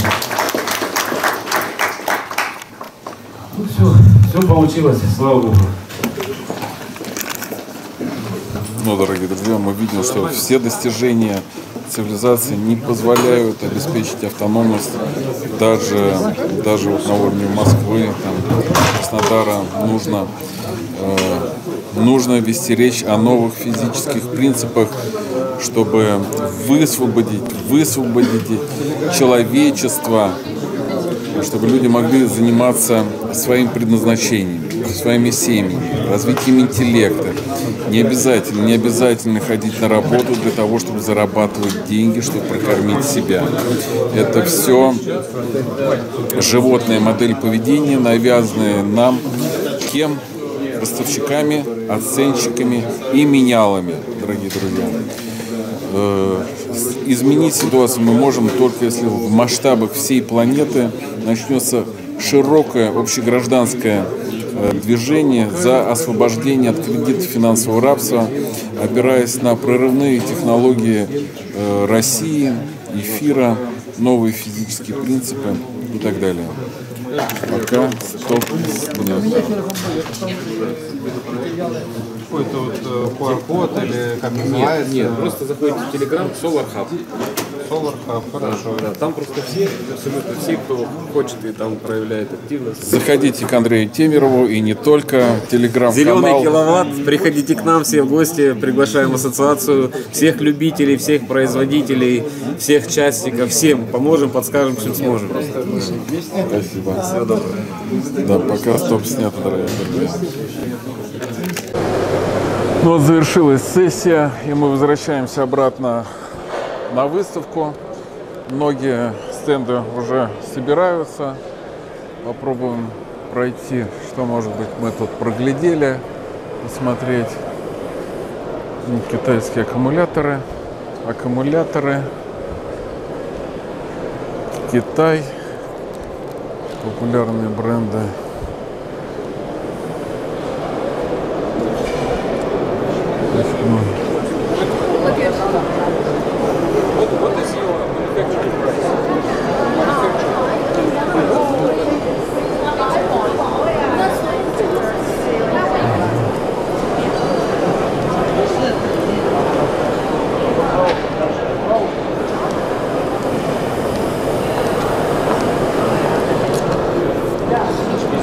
Ну, как я и говорил в самом начале, дорогие друзья, очень многолюдная выставка, очень много гостей со всего мира приехало. Ну, понятно, что это, конечно же, ирония, дорогие друзья, потому что мы очень много гордимся достижением наших предков, которые ценой десятков миллионов жизней сохранили нам территорию, оставили нам производственный потенциал, а мы, гражданское население, попали в поколение потребителей терпил. Потребителей, которые не готовы биться ради общих идей, готовы слушать рассказы процентчиков, менял и ростовщиков, что солнечные батареи или тепловые насосы могут дать какое-то изобилие или счастье. И это является, конечно же, полной профанацией, поскольку это все технологии устаревшие, а нам надо идти, надо идти к технологиям до потопного уклада, о чем говорят, что и Питер откапывали, и атмосферное электричество получали, и плотность, плотность атмосферы была другая. Это все на множестве других каналов есть, не буду на этом я сейчас заострять свое внимание. А прийти к изобилию мы можем через изобилие энергетическое и показав пример. Пример всему человечеству. И как раз вот драматургическая э, моя такая находка, что женщины России могут заказать идеальный образ будущего, сделать на это ставку, и Россия может продемонстрировать гражданам всего мира, что мы можем уйти от ростовщичества по всему миру, перейти на новую мировоззренческую модель, где человек это не производное от животного мира, от обезьяны, а это иное, что есть высший создатель, который проводит здесь эксперимент, чтобы мы проявили разум, либо при очередном перевороте планеты просто всех нас смыло глобальной волной. Глобальной волной безрассудства, глупости, нежелания объединиться и думать общими целями. Но я почему-то верю, дорогие друзья, что раз нас ведут, раз нас ведут и позволили не скатиться в атомный, в ядерный апокалипсис, то есть шанс, что мы можем все договориться. Сегодня на выставке один из участников говорил, что договориться невозможно, и при считаю, что возможно, и тоже для этого есть доводы. Пишите в комментариях, важно, присоединяйтесь, распространяйте материалы, пишите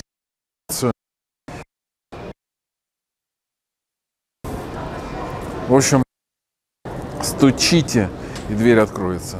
Стоп, снято.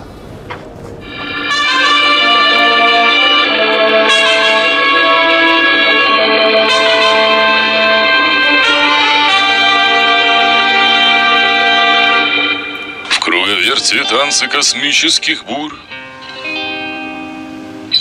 Незаметны людские мечтания и сны. Прорывается счастье в сердца всех людей. Но так мало кто знает все это, увы. Я всесильным становлюсь несдержимым Все преграды прохожу и режимы. Свет эфира озаряет вселенную Мы купаемся в любви. Необыкновенно. За пределами небес море. Люди счастья все хотят, а не горя Там где сердце у земли. Космос. Только слышу я лишь твой голос. Я всесильным становлюсь несдержимым Все преграды прохожу и режимы. Свет эфира озаряя вселенную. Мы купаемся в любви. Необыкновенной Свет души пронзает лазером вечность. Словно дети мы кружим в танце мира. А любовь ведь это просто беспечность и тепло в сердца струится эфиром. Я всесильным становлюсь несдержимым. Все преграды прохожу и режимы. Свет эфира озаряет вселенную. Мы купаемся в любви. Необыкновенно.